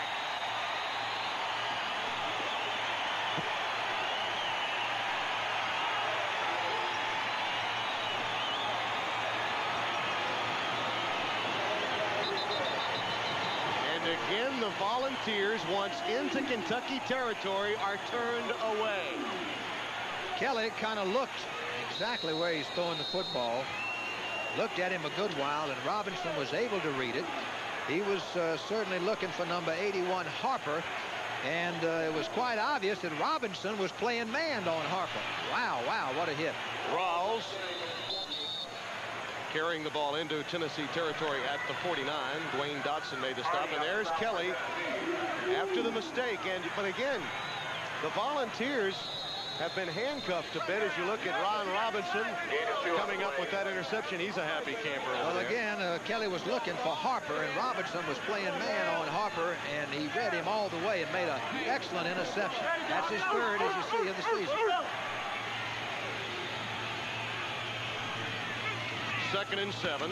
It's the delay. Number 49, Mike Knox, the backup fullback, close to a first down. Well, that was a trap play and just an excellent call because usually when they put the tailback in motion, they're going to run out to him and throw the ball to him. And therefore, you got the rushers coming upfield, and the trap play was an excellent call. Particularly when that back in motion is Alfred Rawls. Yeah, when he goes out wide, they usually roll to him and look for him. 9.28 remaining, third quarter. Tim Brando, Vince Dooley, happy you joined us. It's a border rivalry in the Southeastern Conference, Kentucky and Tennessee. And on third and one, where Rawls may be stopped shy of the first down. No, I think he made it with second effort. That was tremendous second effort by Rawls. That last lunge may have picked up the necessary yardage for him. Daryl Hardy, number 87, the sophomore from Cincinnati, made the stop. Now, they don't like the mark, do they? They're going to measure. The Kentucky staff is very upset with where the officials mark the football. Well, that's always the key, and the officials have got to get in there and be on the ball when that happens. I think he made it, though. Oh, but it is so close. Yeah. Perhaps closer than Jerry Claiborne might have liked. Well, you give all of this credit to Rawls because he was certainly stopped behind the line of scrimmage, popped in there, stopped right here, and then kept grinding, hit right here, and then watch this second effort here. Yeah. He goes for the first down. First and He was 10. hit uh, extremely hard by Daryl Hardy, number 87. Here he goes again. Rawls down to the 36-yard line of Kentucky. Sean Walker again, number 45, making the tackle. Look at the numbers on Rawls. That's almost like the Tony Dorsett statistic you saw with the Dallas Cowboys years ago. 100 yards they win, 111 yards when they win. All six they win, and the four losses he's cut in half. Look at those averages. When he wins, 6.1. When he loses, 2.8. That tells you a lot. And of course, Tennessee felt that they could stop Rawls if their de defensive scheme was the type that would stop him, or at least contain him. They've contained Maggard. He's down at the 35-yard line. May have gotten back to the line of scrimmage, or perhaps picked up a yard. Think he- again made the stop. I think he did, and by picking up a yard, it still gets them in pretty good shape now in the 35-yard line, basically in a four-down zone, and they've got they've got uh, two downs to make the four yards, or three and a half yards. Again, what's at stake? Kentucky now knowing that Indiana's lost, perhaps thinking about the Freedom Bowl, trying to make an impression. Tennessee wants a share of the title, and they're headed to the Cotton Bowl, and they want that share of the SEC championship. Up the middle, Murray, the fullback, only a couple of yards, and it will be fourth down and three. Well, they go back to the trap, but Murray just made a bad cut. He really had to cut to the outside. He went inside and missed it. If you're wondering again why Tennessee has a feeling about a tie and an SEC championship, it could be a tri-championship if Auburn were to knock off Alabama next week. And that game, of course, at Jordan Hare. Jerry Claiborne is calling for a timeout. He Yeah. wants to discuss what the fourth down call might be.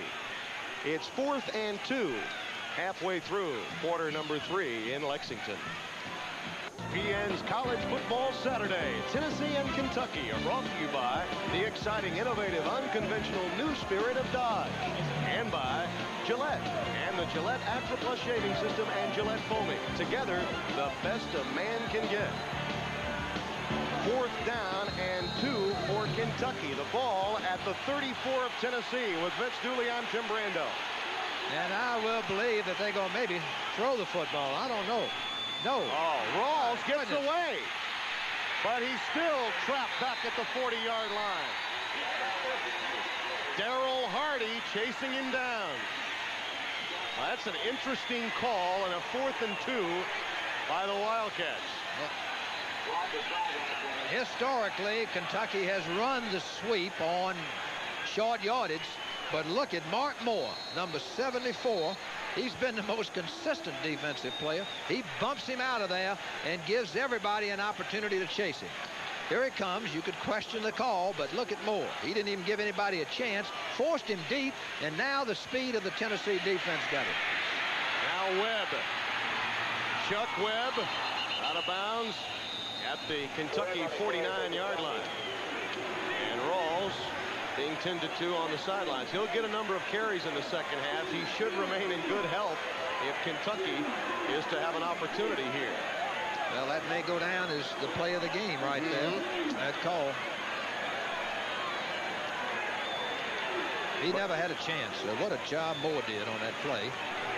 Well, you, the interesting part about that, what makes it a controversial decision, I believe, Vince, is that it was an east to west position that Rawls had to run in before he could turn it back upfield, not going straight up the Never, middle. never had a chance that way. You got to be able to turn the corner, and he could have made it. And I've seen Kentucky run that on fourth down, a third mm. down, and two, and make it a lot of times, but there's been a tendency for them to do that. Yeah. And Johnny Majors and staff were right on top of it. First and 10.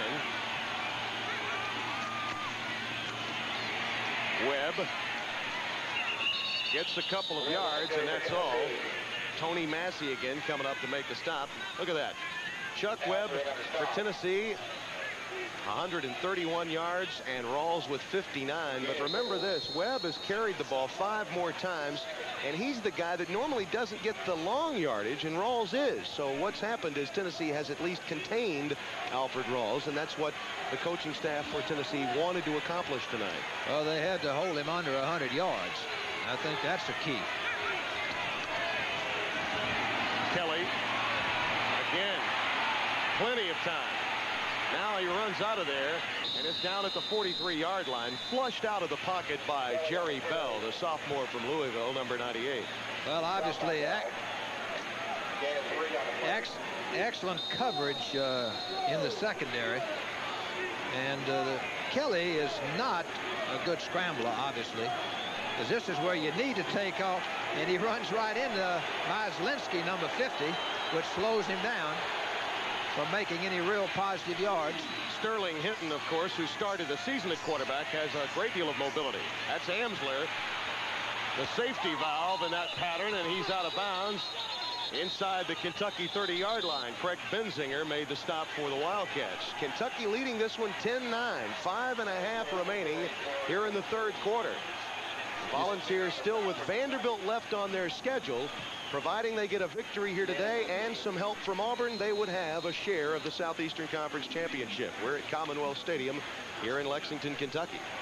Uh, the key is uh, Kentucky's defense to be able to hold because Tennessee does get stronger as they go along with that great offensive line popping on you down after down. Quick drop. Now the adjustment. Harper deep. Pickens, Oh. I beg your pardon, the intended receiver. And one more time, the pass just a bit overthrown in the corner of the end zone. Remember, Harper had three that were caught that were just on the end line. I think what Kelly was going to do there is come up and quickly read the outside blitz, which started to come, and it didn't come, so Pickens just took off on a, on a streak route, and Kelly let him have it, but it was too long, of course. Second and 10.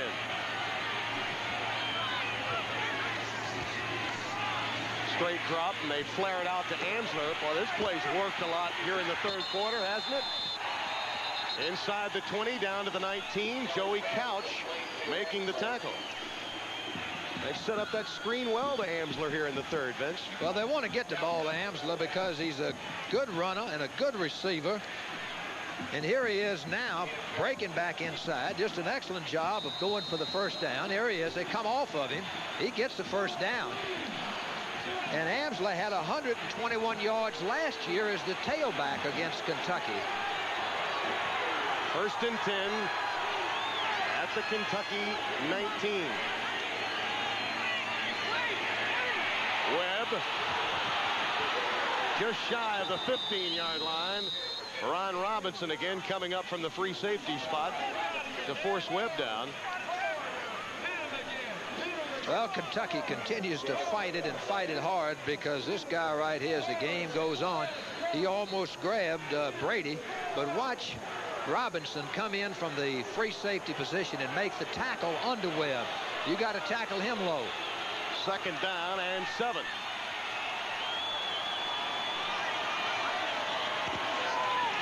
Chuck Webb, nothing doing. And this is where the Kentucky defense has stiffened. In the first half, Tennessee started drives at the Kentucky 48, at the Kentucky 38. They came up with only three points. They've already been denied here in the second half. Well, here's the eight-man front of Kentucky coming in. Hauser does a good job forcing him back inside. And then he gets uh, good help from Benzinger, number 44, the linebacker. Kentucky is tough, you're right, to put it in the end zone inside the 30-yard line. And this is where Tennessee has really been great all season, but they haven't done it tonight yet against Kentucky. Ninth play of the drive, third and six.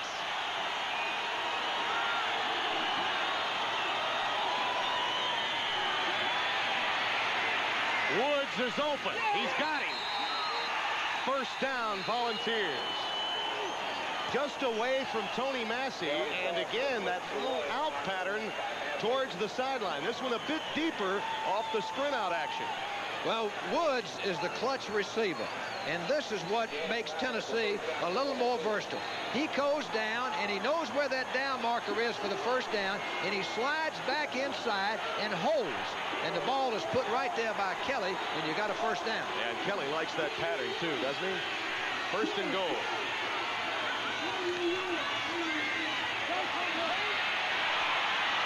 Down to the one-yard line goes Tony Thompson. Just into the game for Chuck Webb. Just shy of the end zone. Jerry Bell, number 98, coming over from the other side of the field, made the stop. Well, you got to have help at tailback when you run this kind of an offense. And Thompson has come in and done a good job, and he does a good job there of getting below those shoulders and going for the goal line. And you see the reason he's in. They're taping up Webb on that ankle. Thompson reminds you a bit of Johnny Jones back there. They go with a full house look. Yeah, that's the old wishbone. No, no signal. No signal. And Kelly stops shy of the end zone. Boy, it's interesting how many teams are running the wishbone around the goal line in short yardage. Joe Paterno's gone to it. Penn State, and they were Notre successful Dame. again today. Notre yeah, Dame. I'll tell you why, because it's balanced.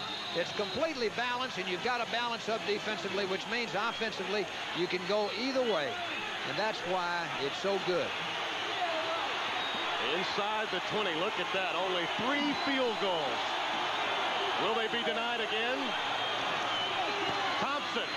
Touchdown, Tennessee.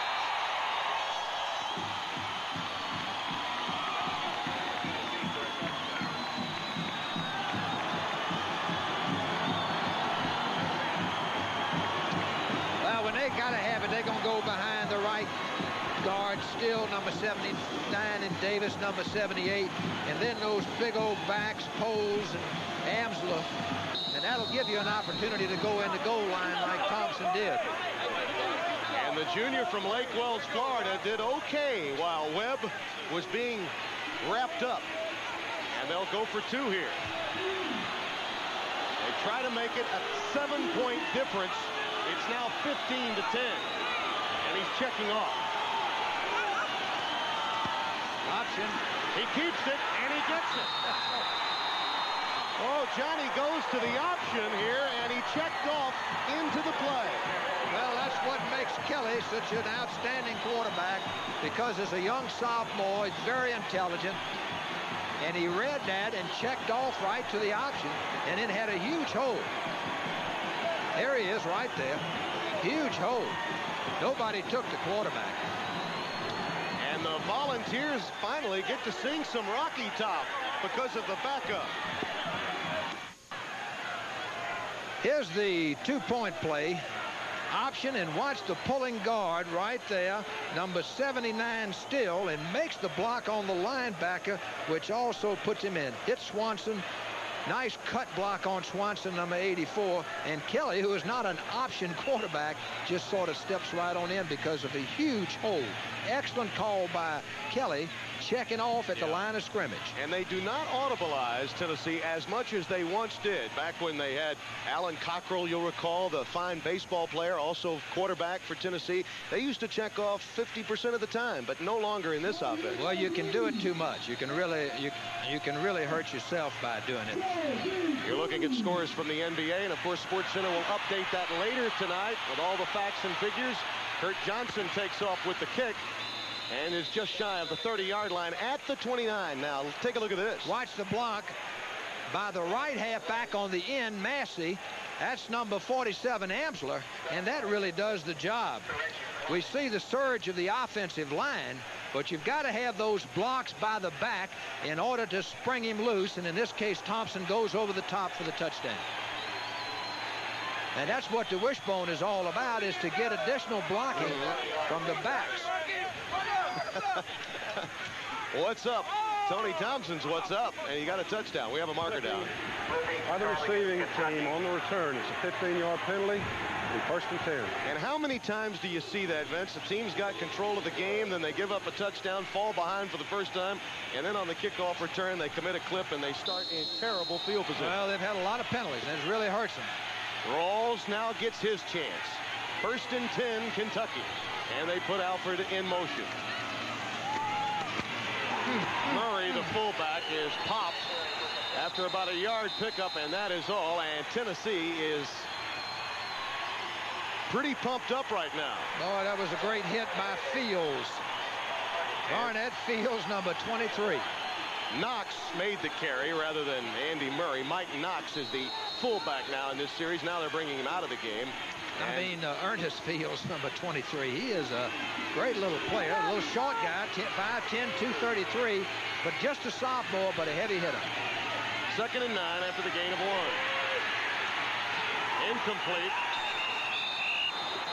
Intended for Bilberry.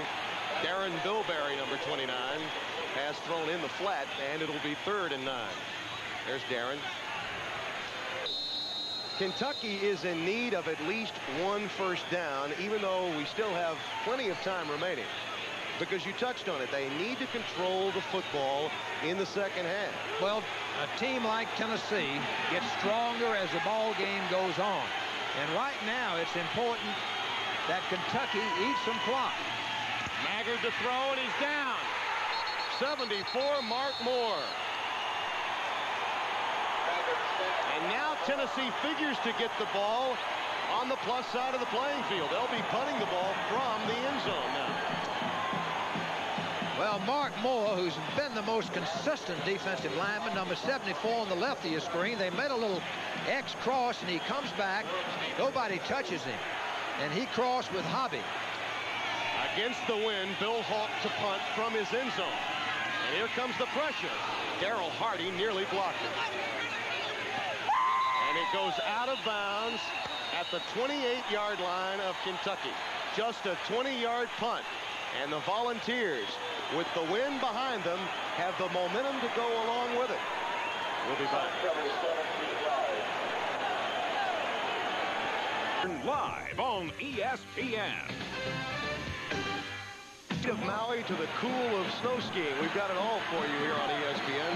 Mike Gorman, Billy Raftery standing by in Maui for the Maui Classic immediately following our game.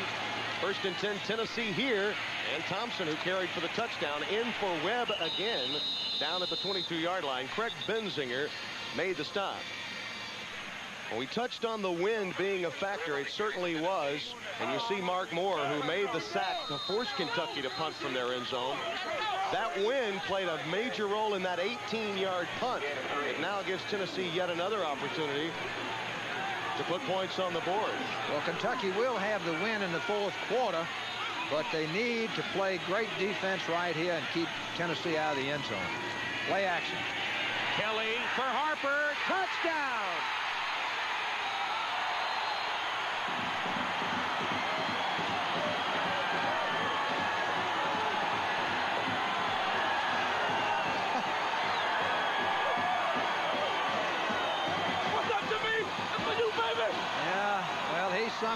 Athlete, athlete, and uh, all day long, Kelly's been trying to throw to Harper, and most of the time out of the end zone, but here, right down the middle, and look at that great reach that he's got. Long arms, long legs, excellent target, and can he jump? Doesn't need to right here. The fourth time's a charm. he had three that he caught. All were on the end line, but the fourth time it counts, and it's now 25 to 10. 34 seconds remaining in the third quarter. Take a look at it again, Timmy. An excellent job by Kelly. Good play action fake right here. And then right down the middle, splitting the linebackers. Right where the safety man was. Nobody around him. Those long arms. What a reach this guy's got. Led the conference and won, won the SEC high jump. 7.2 feet, two and a half feet, and a half inch. And that score, as you look at some of the other scores from the Division One AA playoffs and Erk Russell on his way, the score we gave you a moment ago was incorrect. There was a two-point conversion a few moments ago, but that made it 17 to 10. It is actually a 24 to 10 game rather than 25 to 10. So we were in error, and we have now corrected that. Kurt Johnson takes it on the sidelines and comes back upfield, up to the 30-yard line.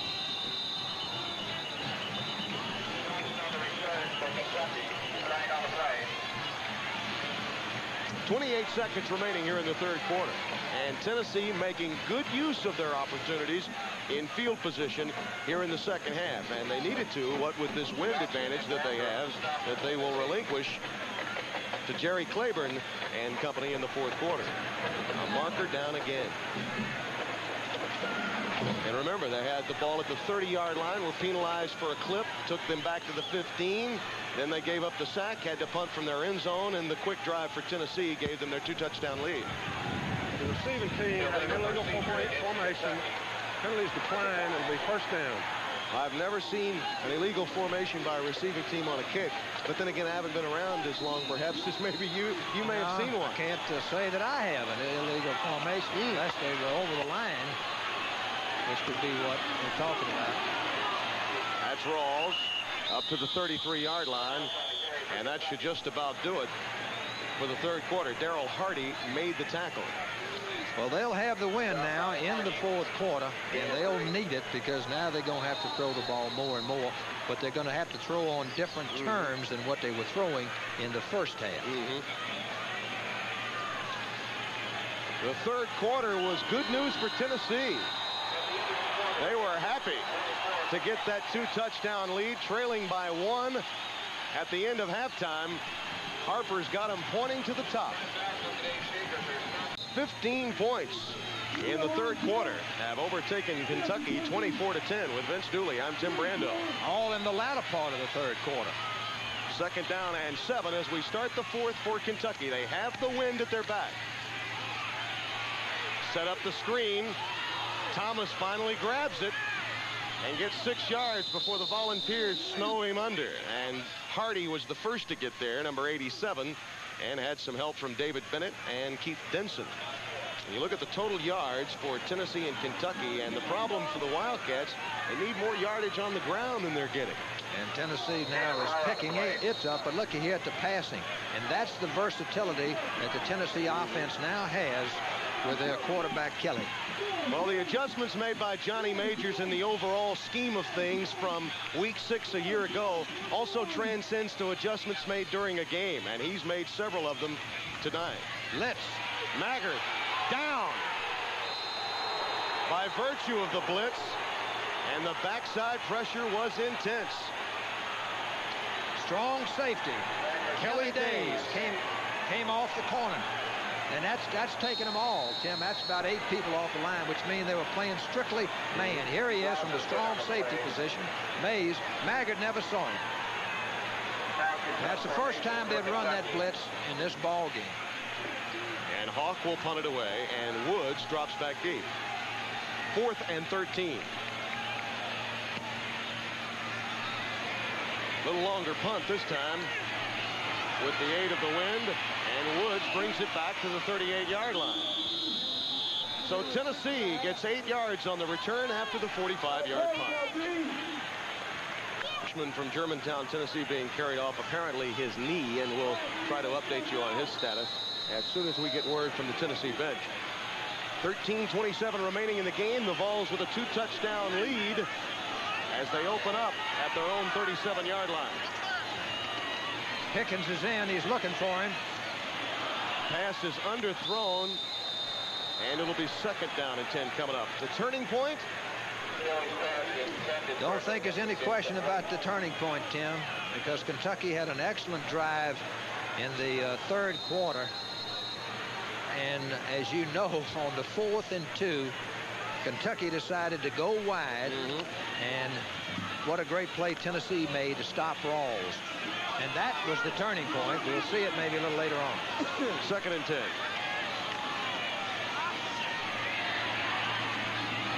Amsler, he has caught a number of passes in the flat that have been successful for the Volunteers. Right on cue, there it is. 7.07 in the third quarter. Kentucky already leading by a point. And there comes Rawls. There comes Rawls, and there comes Mark Moore, who forced Rawls deep and allowed all that Tennessee speed to finally catch him, along with Daryl Hardy, the outside linebacker who can really run. He's a 4-5 40, and that's great speed for a linebacker. Tennessee leading by 24 to 10 with Vince Dooley. I'm Tim Brando. Third and five. Again, they dump it out to Amsler, but the Wildcats are ready and waiting. Billy Swanson and Doug Hauser get there to combine on the tackle. And that will force a punt formation for Tennessee, and Kentucky will get it back. Doug Hauser is a very enthusiastic uh, player, and he's a senior, has been around a good while, and has played a lot of good football for Kentucky. Kent Elmore will punt it away. A couple of punts tonight. And dropping back deep for the Wildcats. Number 20, Chris Tolbert. They need a good return out of him. He's averaging 13.3. He's 10th in the nation, and he needs to make something happen right now in order to get Kentucky going. He had a 58-yarder for a touchdown against Cincinnati, but he won't get a chance this time. And look at that bounce. Down at the five-yard line. And even with the win, that's a long way to go. A 51-yard punt against the win by Kent Elmore. Now, the kicking game does mean a lot if you're going to win championships, doesn't it? ESPN's College Football Saturday. Tennessee versus Kentucky is brought to you by BMW, the ultimate driving machine. To arrange a thorough test drive, simply phone your nearest BMW dealer. By the Hartford, the insurance people of ITT. When you need us most, we're at our best. And by Anheuser-Busch. We brew our fine quality beers to be enjoyed responsibly. Remember, no win to say win.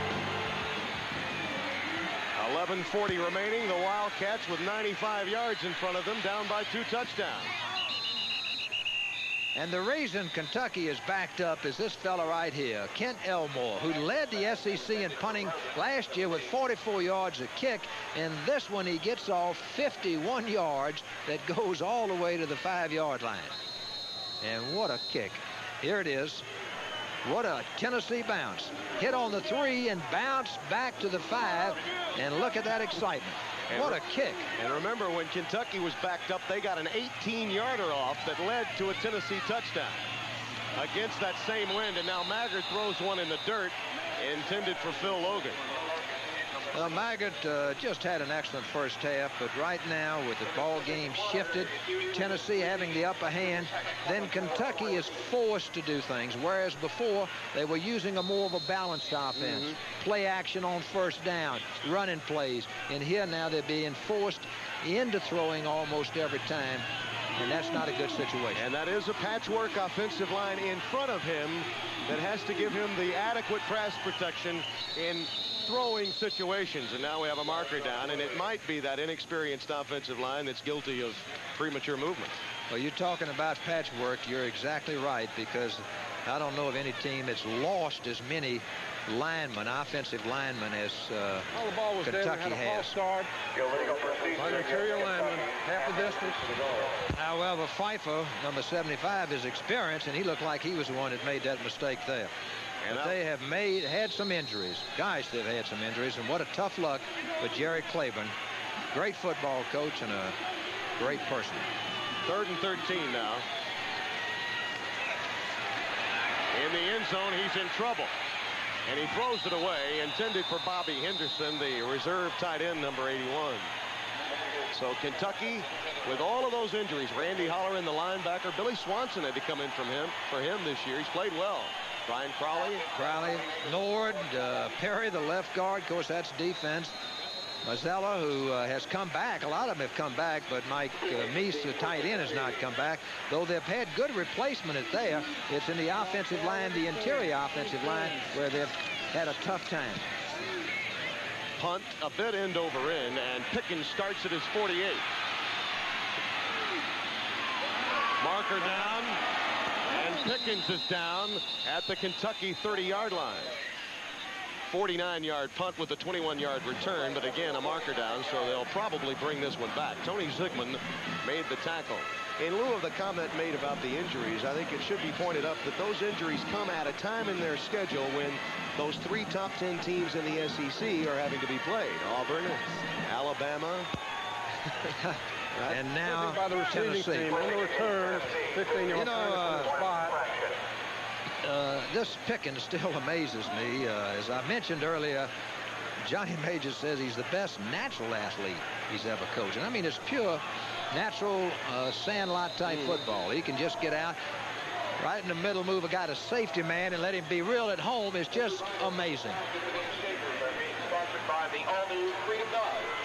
4 to 10, Tennessee leading Kentucky. 11:05 remaining fourth quarter. I'm Tim Brando with Vince Dooley. The Volunteers open up at their 42-yard line. They're in the running set with the two tight ends. Thompson is hammered by Oliver Barnett. And he hammered himself. He hit him so hard. Wow. Yeah, the left elbow, it appears, is hurt. Oh, look at that ham hock. Mm. That arm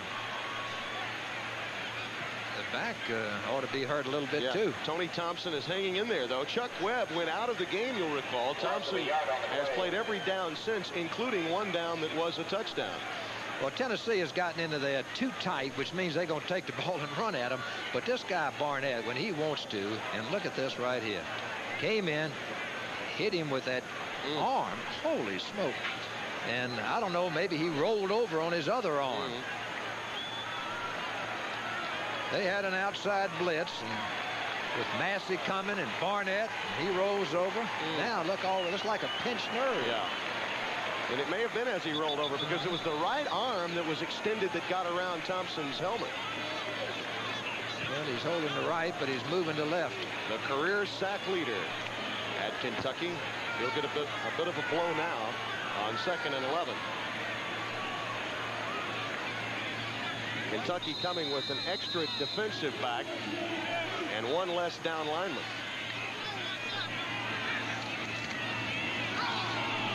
Draw. Thompson has perhaps another first down. Excellent call considering the defensive alignment as Craig Benzinger made the stop. Now take a look and listen at this hit, the impact of it. You can hear it up here. Here comes Massey, but here comes Barnett. Woo. Oh.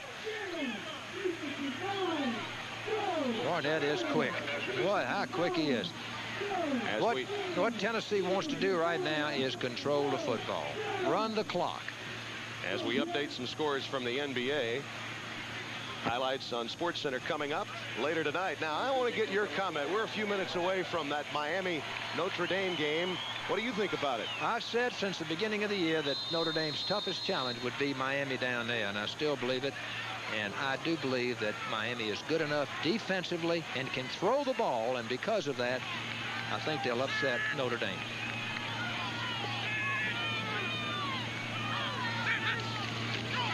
On first down, Thompson off the left side for a couple of yards. Swanson and Brady combine, along with Jerry Bell. And boy, what how that would change the national scope of things. They talked about it earlier today on College Game Day, Bob Carpenter and Lee and, and Beano. And it really would. Miami now suddenly could be playing Alabama for the national championship in the Sugar Bowl if they were to knock off Notre Dame tonight. Well, it would change, shake up a lot of the. If Notre Dame wins this ball game, you'd have to say Rice, Heisman, and Notre Dame another national Mhm. championship. Second and eight. And the play fake. And Morgan is deep. And so too is Thompson. It's incomplete. Intended for Tony Thompson. Well, he wanted to go to Morgan, but he wisely didn't throw the football because Kentucky safety man Robinson was dead in the middle. He would have thrown it up into double coverage. And again, that's what makes Kelly and he, a good quarterback, and he's going to get better as he gets more experience. Boy, he really is. 15 of 32 for 196 yards. And think about this. All the while, Sterling Henton's over there on the sidelines. 7 and 1 as a starter himself. He- he's a heck of a quarterback himself, but an an excellent option quarterback, but doesn't have the passing ability of a Kelly, and that's the difference. Third and eight. Draw again. Thompson again. Down to the 32-yard line of Kentucky. Swanson again. Chasing him down from behind. The junior from Paducah, Kentucky, who has played well for Randy Holleran after that knee injury. Well, it's good to have another tailback. Here's Thompson, but look at the holes now. He's getting good blocking. I mean, that's a great hole right there. And that's what makes good backs. Makes good backs great backs. Makes average backs good backs. Mm-hmm. Amsler, the fullback now, in front of Thompson. No, Webb is back in. Well, his first carry since he left the game a few moments ago. He left the game early in the third, and then Thompson got the touchdown, and Tony Massey comes up to make the stop. I think uh, Webb is not 100% right now. We saw him working on his ankle, and in his run right there, he didn't look like the uh, the Chuck Webb of uh, of earlier in this ball game. And he should be getting stronger. A great back normally does, but his ankle is hurting him. Second and six.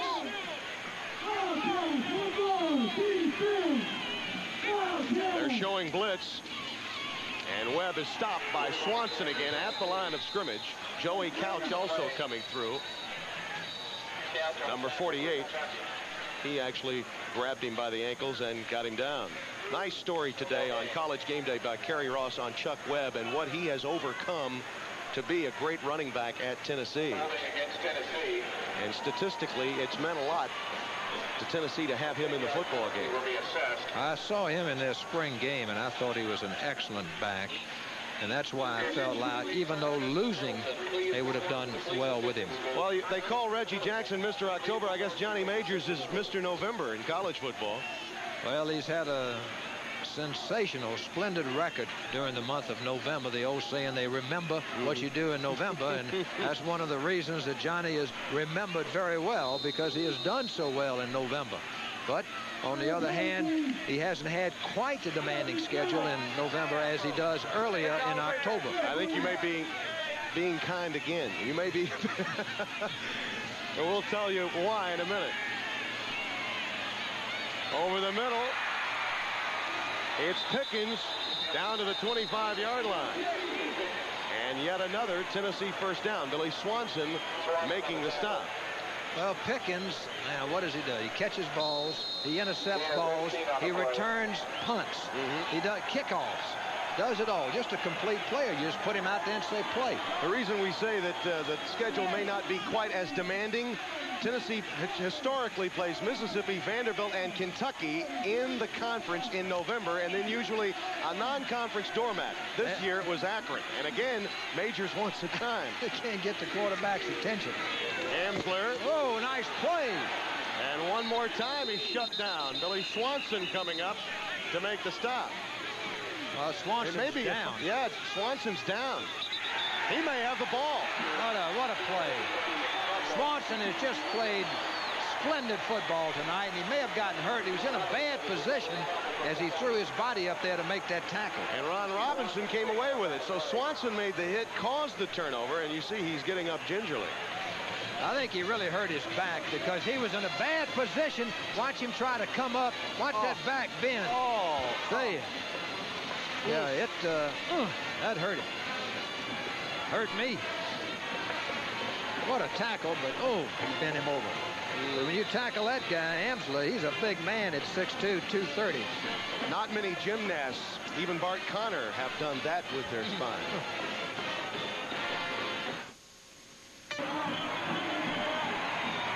Here's Amsler taking the football and watch Swanson right here hit him but wow he bends his back. There goes the ball. What a tackle. But what a back bend. Here's a another oh excellent hit but look at it back. And what's amazing is that he gets up and he's running off the field. Now he's got to be in excellent condition to do that but he's hurting. There's no question that he's hurting with trying to hit a big back like Amsler. Credit to the flexibility and, of course, the work, the off-season conditioning, all of that comes into play there, doesn't You've it? got to be conditioned to play this game. First and 10. And down goes Maggard. Really nowhere to go. Just a sea of orange around him. Kelly was there. Todd Kelly, number 58 the freshman from Hamden, and James Wilson also in on the pile. And you see the score by quarters. Tennessee with a 15 to nothing shutout in the third quarter as Kentucky goes to the hurry up on second and 16. Intercepted. Sean Walker has the touchdown.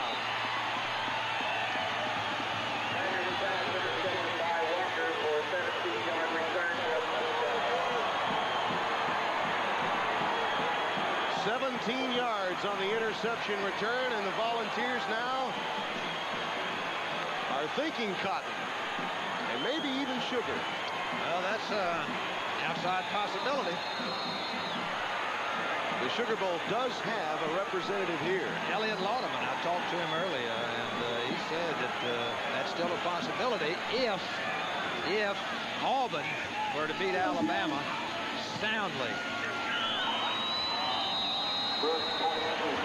Tennessee is able to put in fresh people. When you've got the ball game under control, you can put in fresh people, and they can rush the passer, which they did. Now Maggard's a little shake, threw the ball out there in the flat, and Sean Walker just picks it off.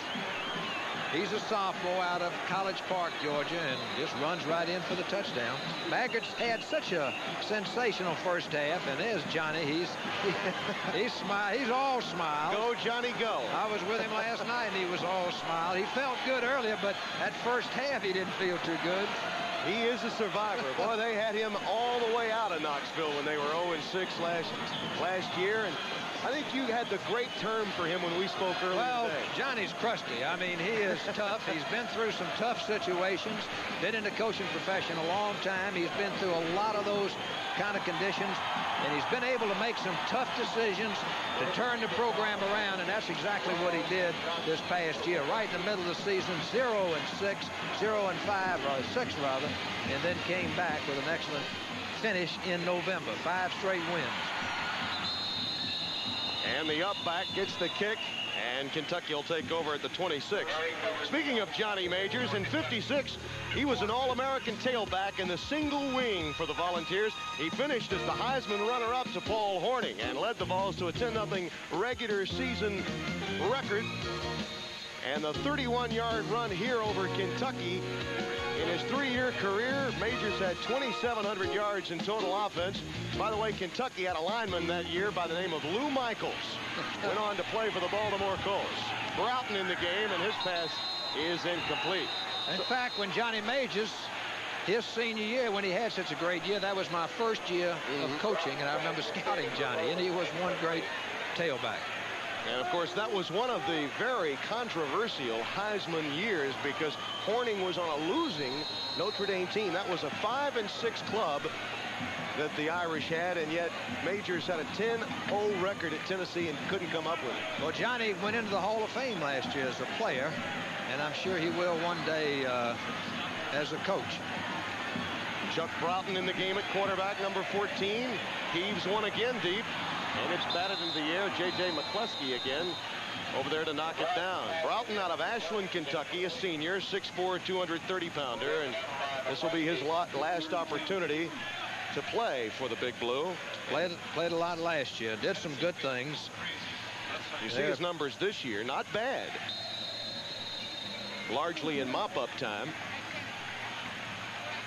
But going back to that, about the Heisman, the voting in the Heisman has changed since the days when Majors was a candidate. Well, you publicize them more. You send out every week something about the Heisman. Even send videos, which is what they did. On third and 10, another drop pass. This one to Kurt Johnson. And it'll be fourth down. The Wildcats will be forced to punt it away. Pickens will stay in the game as Broughton comes to the sideline. Bill Hawk will punt it away.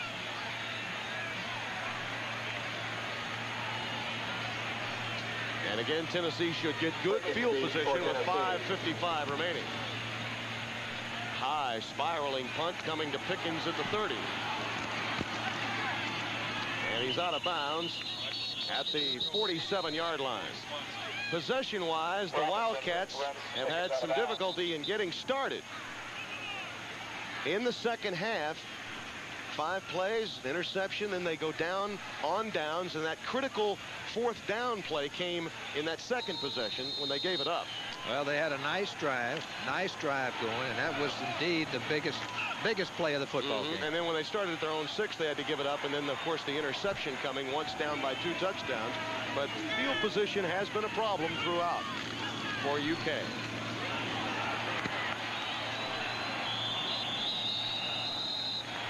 Got another fullback in there, and that's the thing when you've got fresh players. That's McCroskey, Clemens McCroskey. Number 35 popping through there for a healthy gain and a first down. A pickup of 12 on the play. Webb is now taking time out to sit along with Tony Thompson. A job well done, and we'll see some of the backups the rest of the way. Now here's Thompson. Thompson gets down to the 41-yard line. A pickup of two, and it'll be second down and eight. Jeff Brady coming up to make the stop for Kentucky. Brady, who has had a tremendous game and season when you consider some of the defensive problems Kentucky's had on the injury side has helped out at that linebacking spot. Well, Kentucky is a gallant football team, always has been a gallant football team, and despite the problems that they have, they'll fight you down to the wire. And again, McCroskey, look at this. Down to the 20-yard line. I'd say they have a wealth of depth at that running back spot. Brad Armstead, along with Oliver Barnett, make the tackle, a 21-yard gain for McCroskey. And you bring in fresh people, and it does make a difference. Kentucky obviously is tired, and uh, when you bring somebody in fresh like that, it uh, really, really shows up. McCroskey out of Shelbyville, Tennessee. Just a freshman.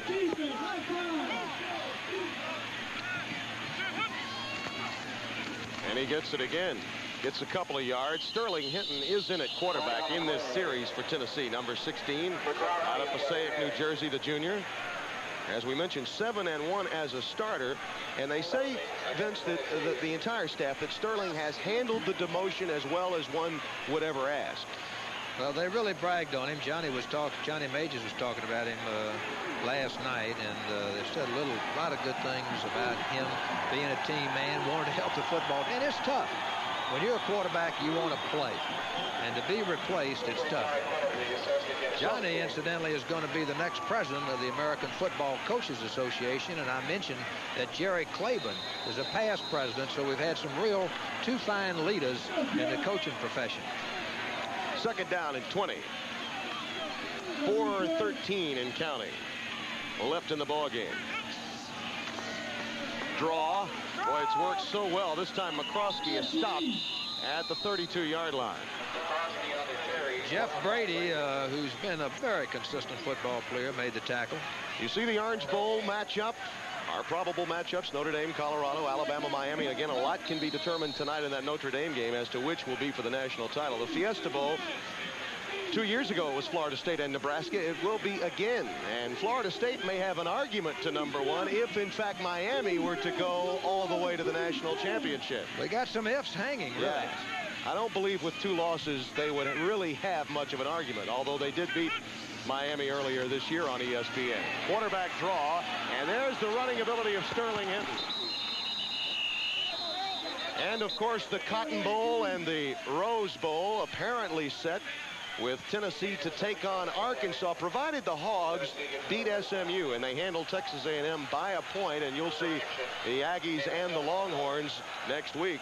Vince and I'll be there. In the Rose Bowl, Michigan, the third-ranked team in the country to take on USC as they defeated the Buckeyes today, 28 to 18. And Texas, by the way, also lost earlier this afternoon, so they are now mathematically out of the Cotton Bowl picture. Henton, Henton is a great running quarterback. Ran the option against UCLA for the touchdown. They a big win over there. On fourth and three, McCroskey is stopped, so Kentucky will get the ball back. And as for the bowls you'll be seeing on ESPN, we've got some dandies. The Holiday Bowl, where you and I will be in San Diego. BYU Ty Detmer, the leading passer in the country, against Penn State. Contrasting styles there. Penn State defense, BYU offense. The Mazda Gator Bowl, West Virginia. Major Harris, a Heisman hopeful against Clemson. The Tigers have only lost twice. Duke, the Blue Devils, to take on Texas Tech. I believe Spike Dykes' Red Raiders may be one of the unsung teams in all of college football. Not many people know about the team from Lubbock.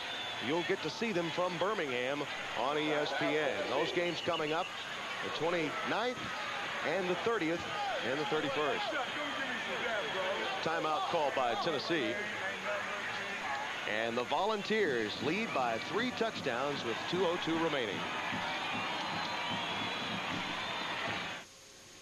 Hey, Roy, there. 31 to 10 our score, Tennessee leading. It is now fourth down and seven. The scoreboard was incorrect a few moments ago. And they will go for it, and they will be into first down territory again. Tony Thompson down to the 10-yard line. Brad Armstead made the tackle. Andy Kelly is the top gun. All the folks in the hills of Tennessee can be proud. Tony Thompson has really played well in the second half of this ball game, replacing Chuck Webb, who, who has been handicapped with the ankle in the second half. You see the total yards, Tennessee in the second half, all over Kentucky. Well, that's been the trait of Tennessee because of this great offensive line. And they are superb. We've got a marker down. They're big, as we talked about the offensive line, and they're quick. And I mentioned they're intelligent. The Ray, for instance, is a physics major. Is a While the ball was dead, a delay of game on the offense. Myslinski, number 50, is a pre-med major. And uh, Eric Still is uh, will be an academic All-American. He's international business. He's not only an academic All-American, but he's also a Kodak All-American, a Walter Camp Foundation All-American. That's what you call your basic red, white, and blue All-American. I think he's going to make all of them. He's going to be a consensus for sure. First down.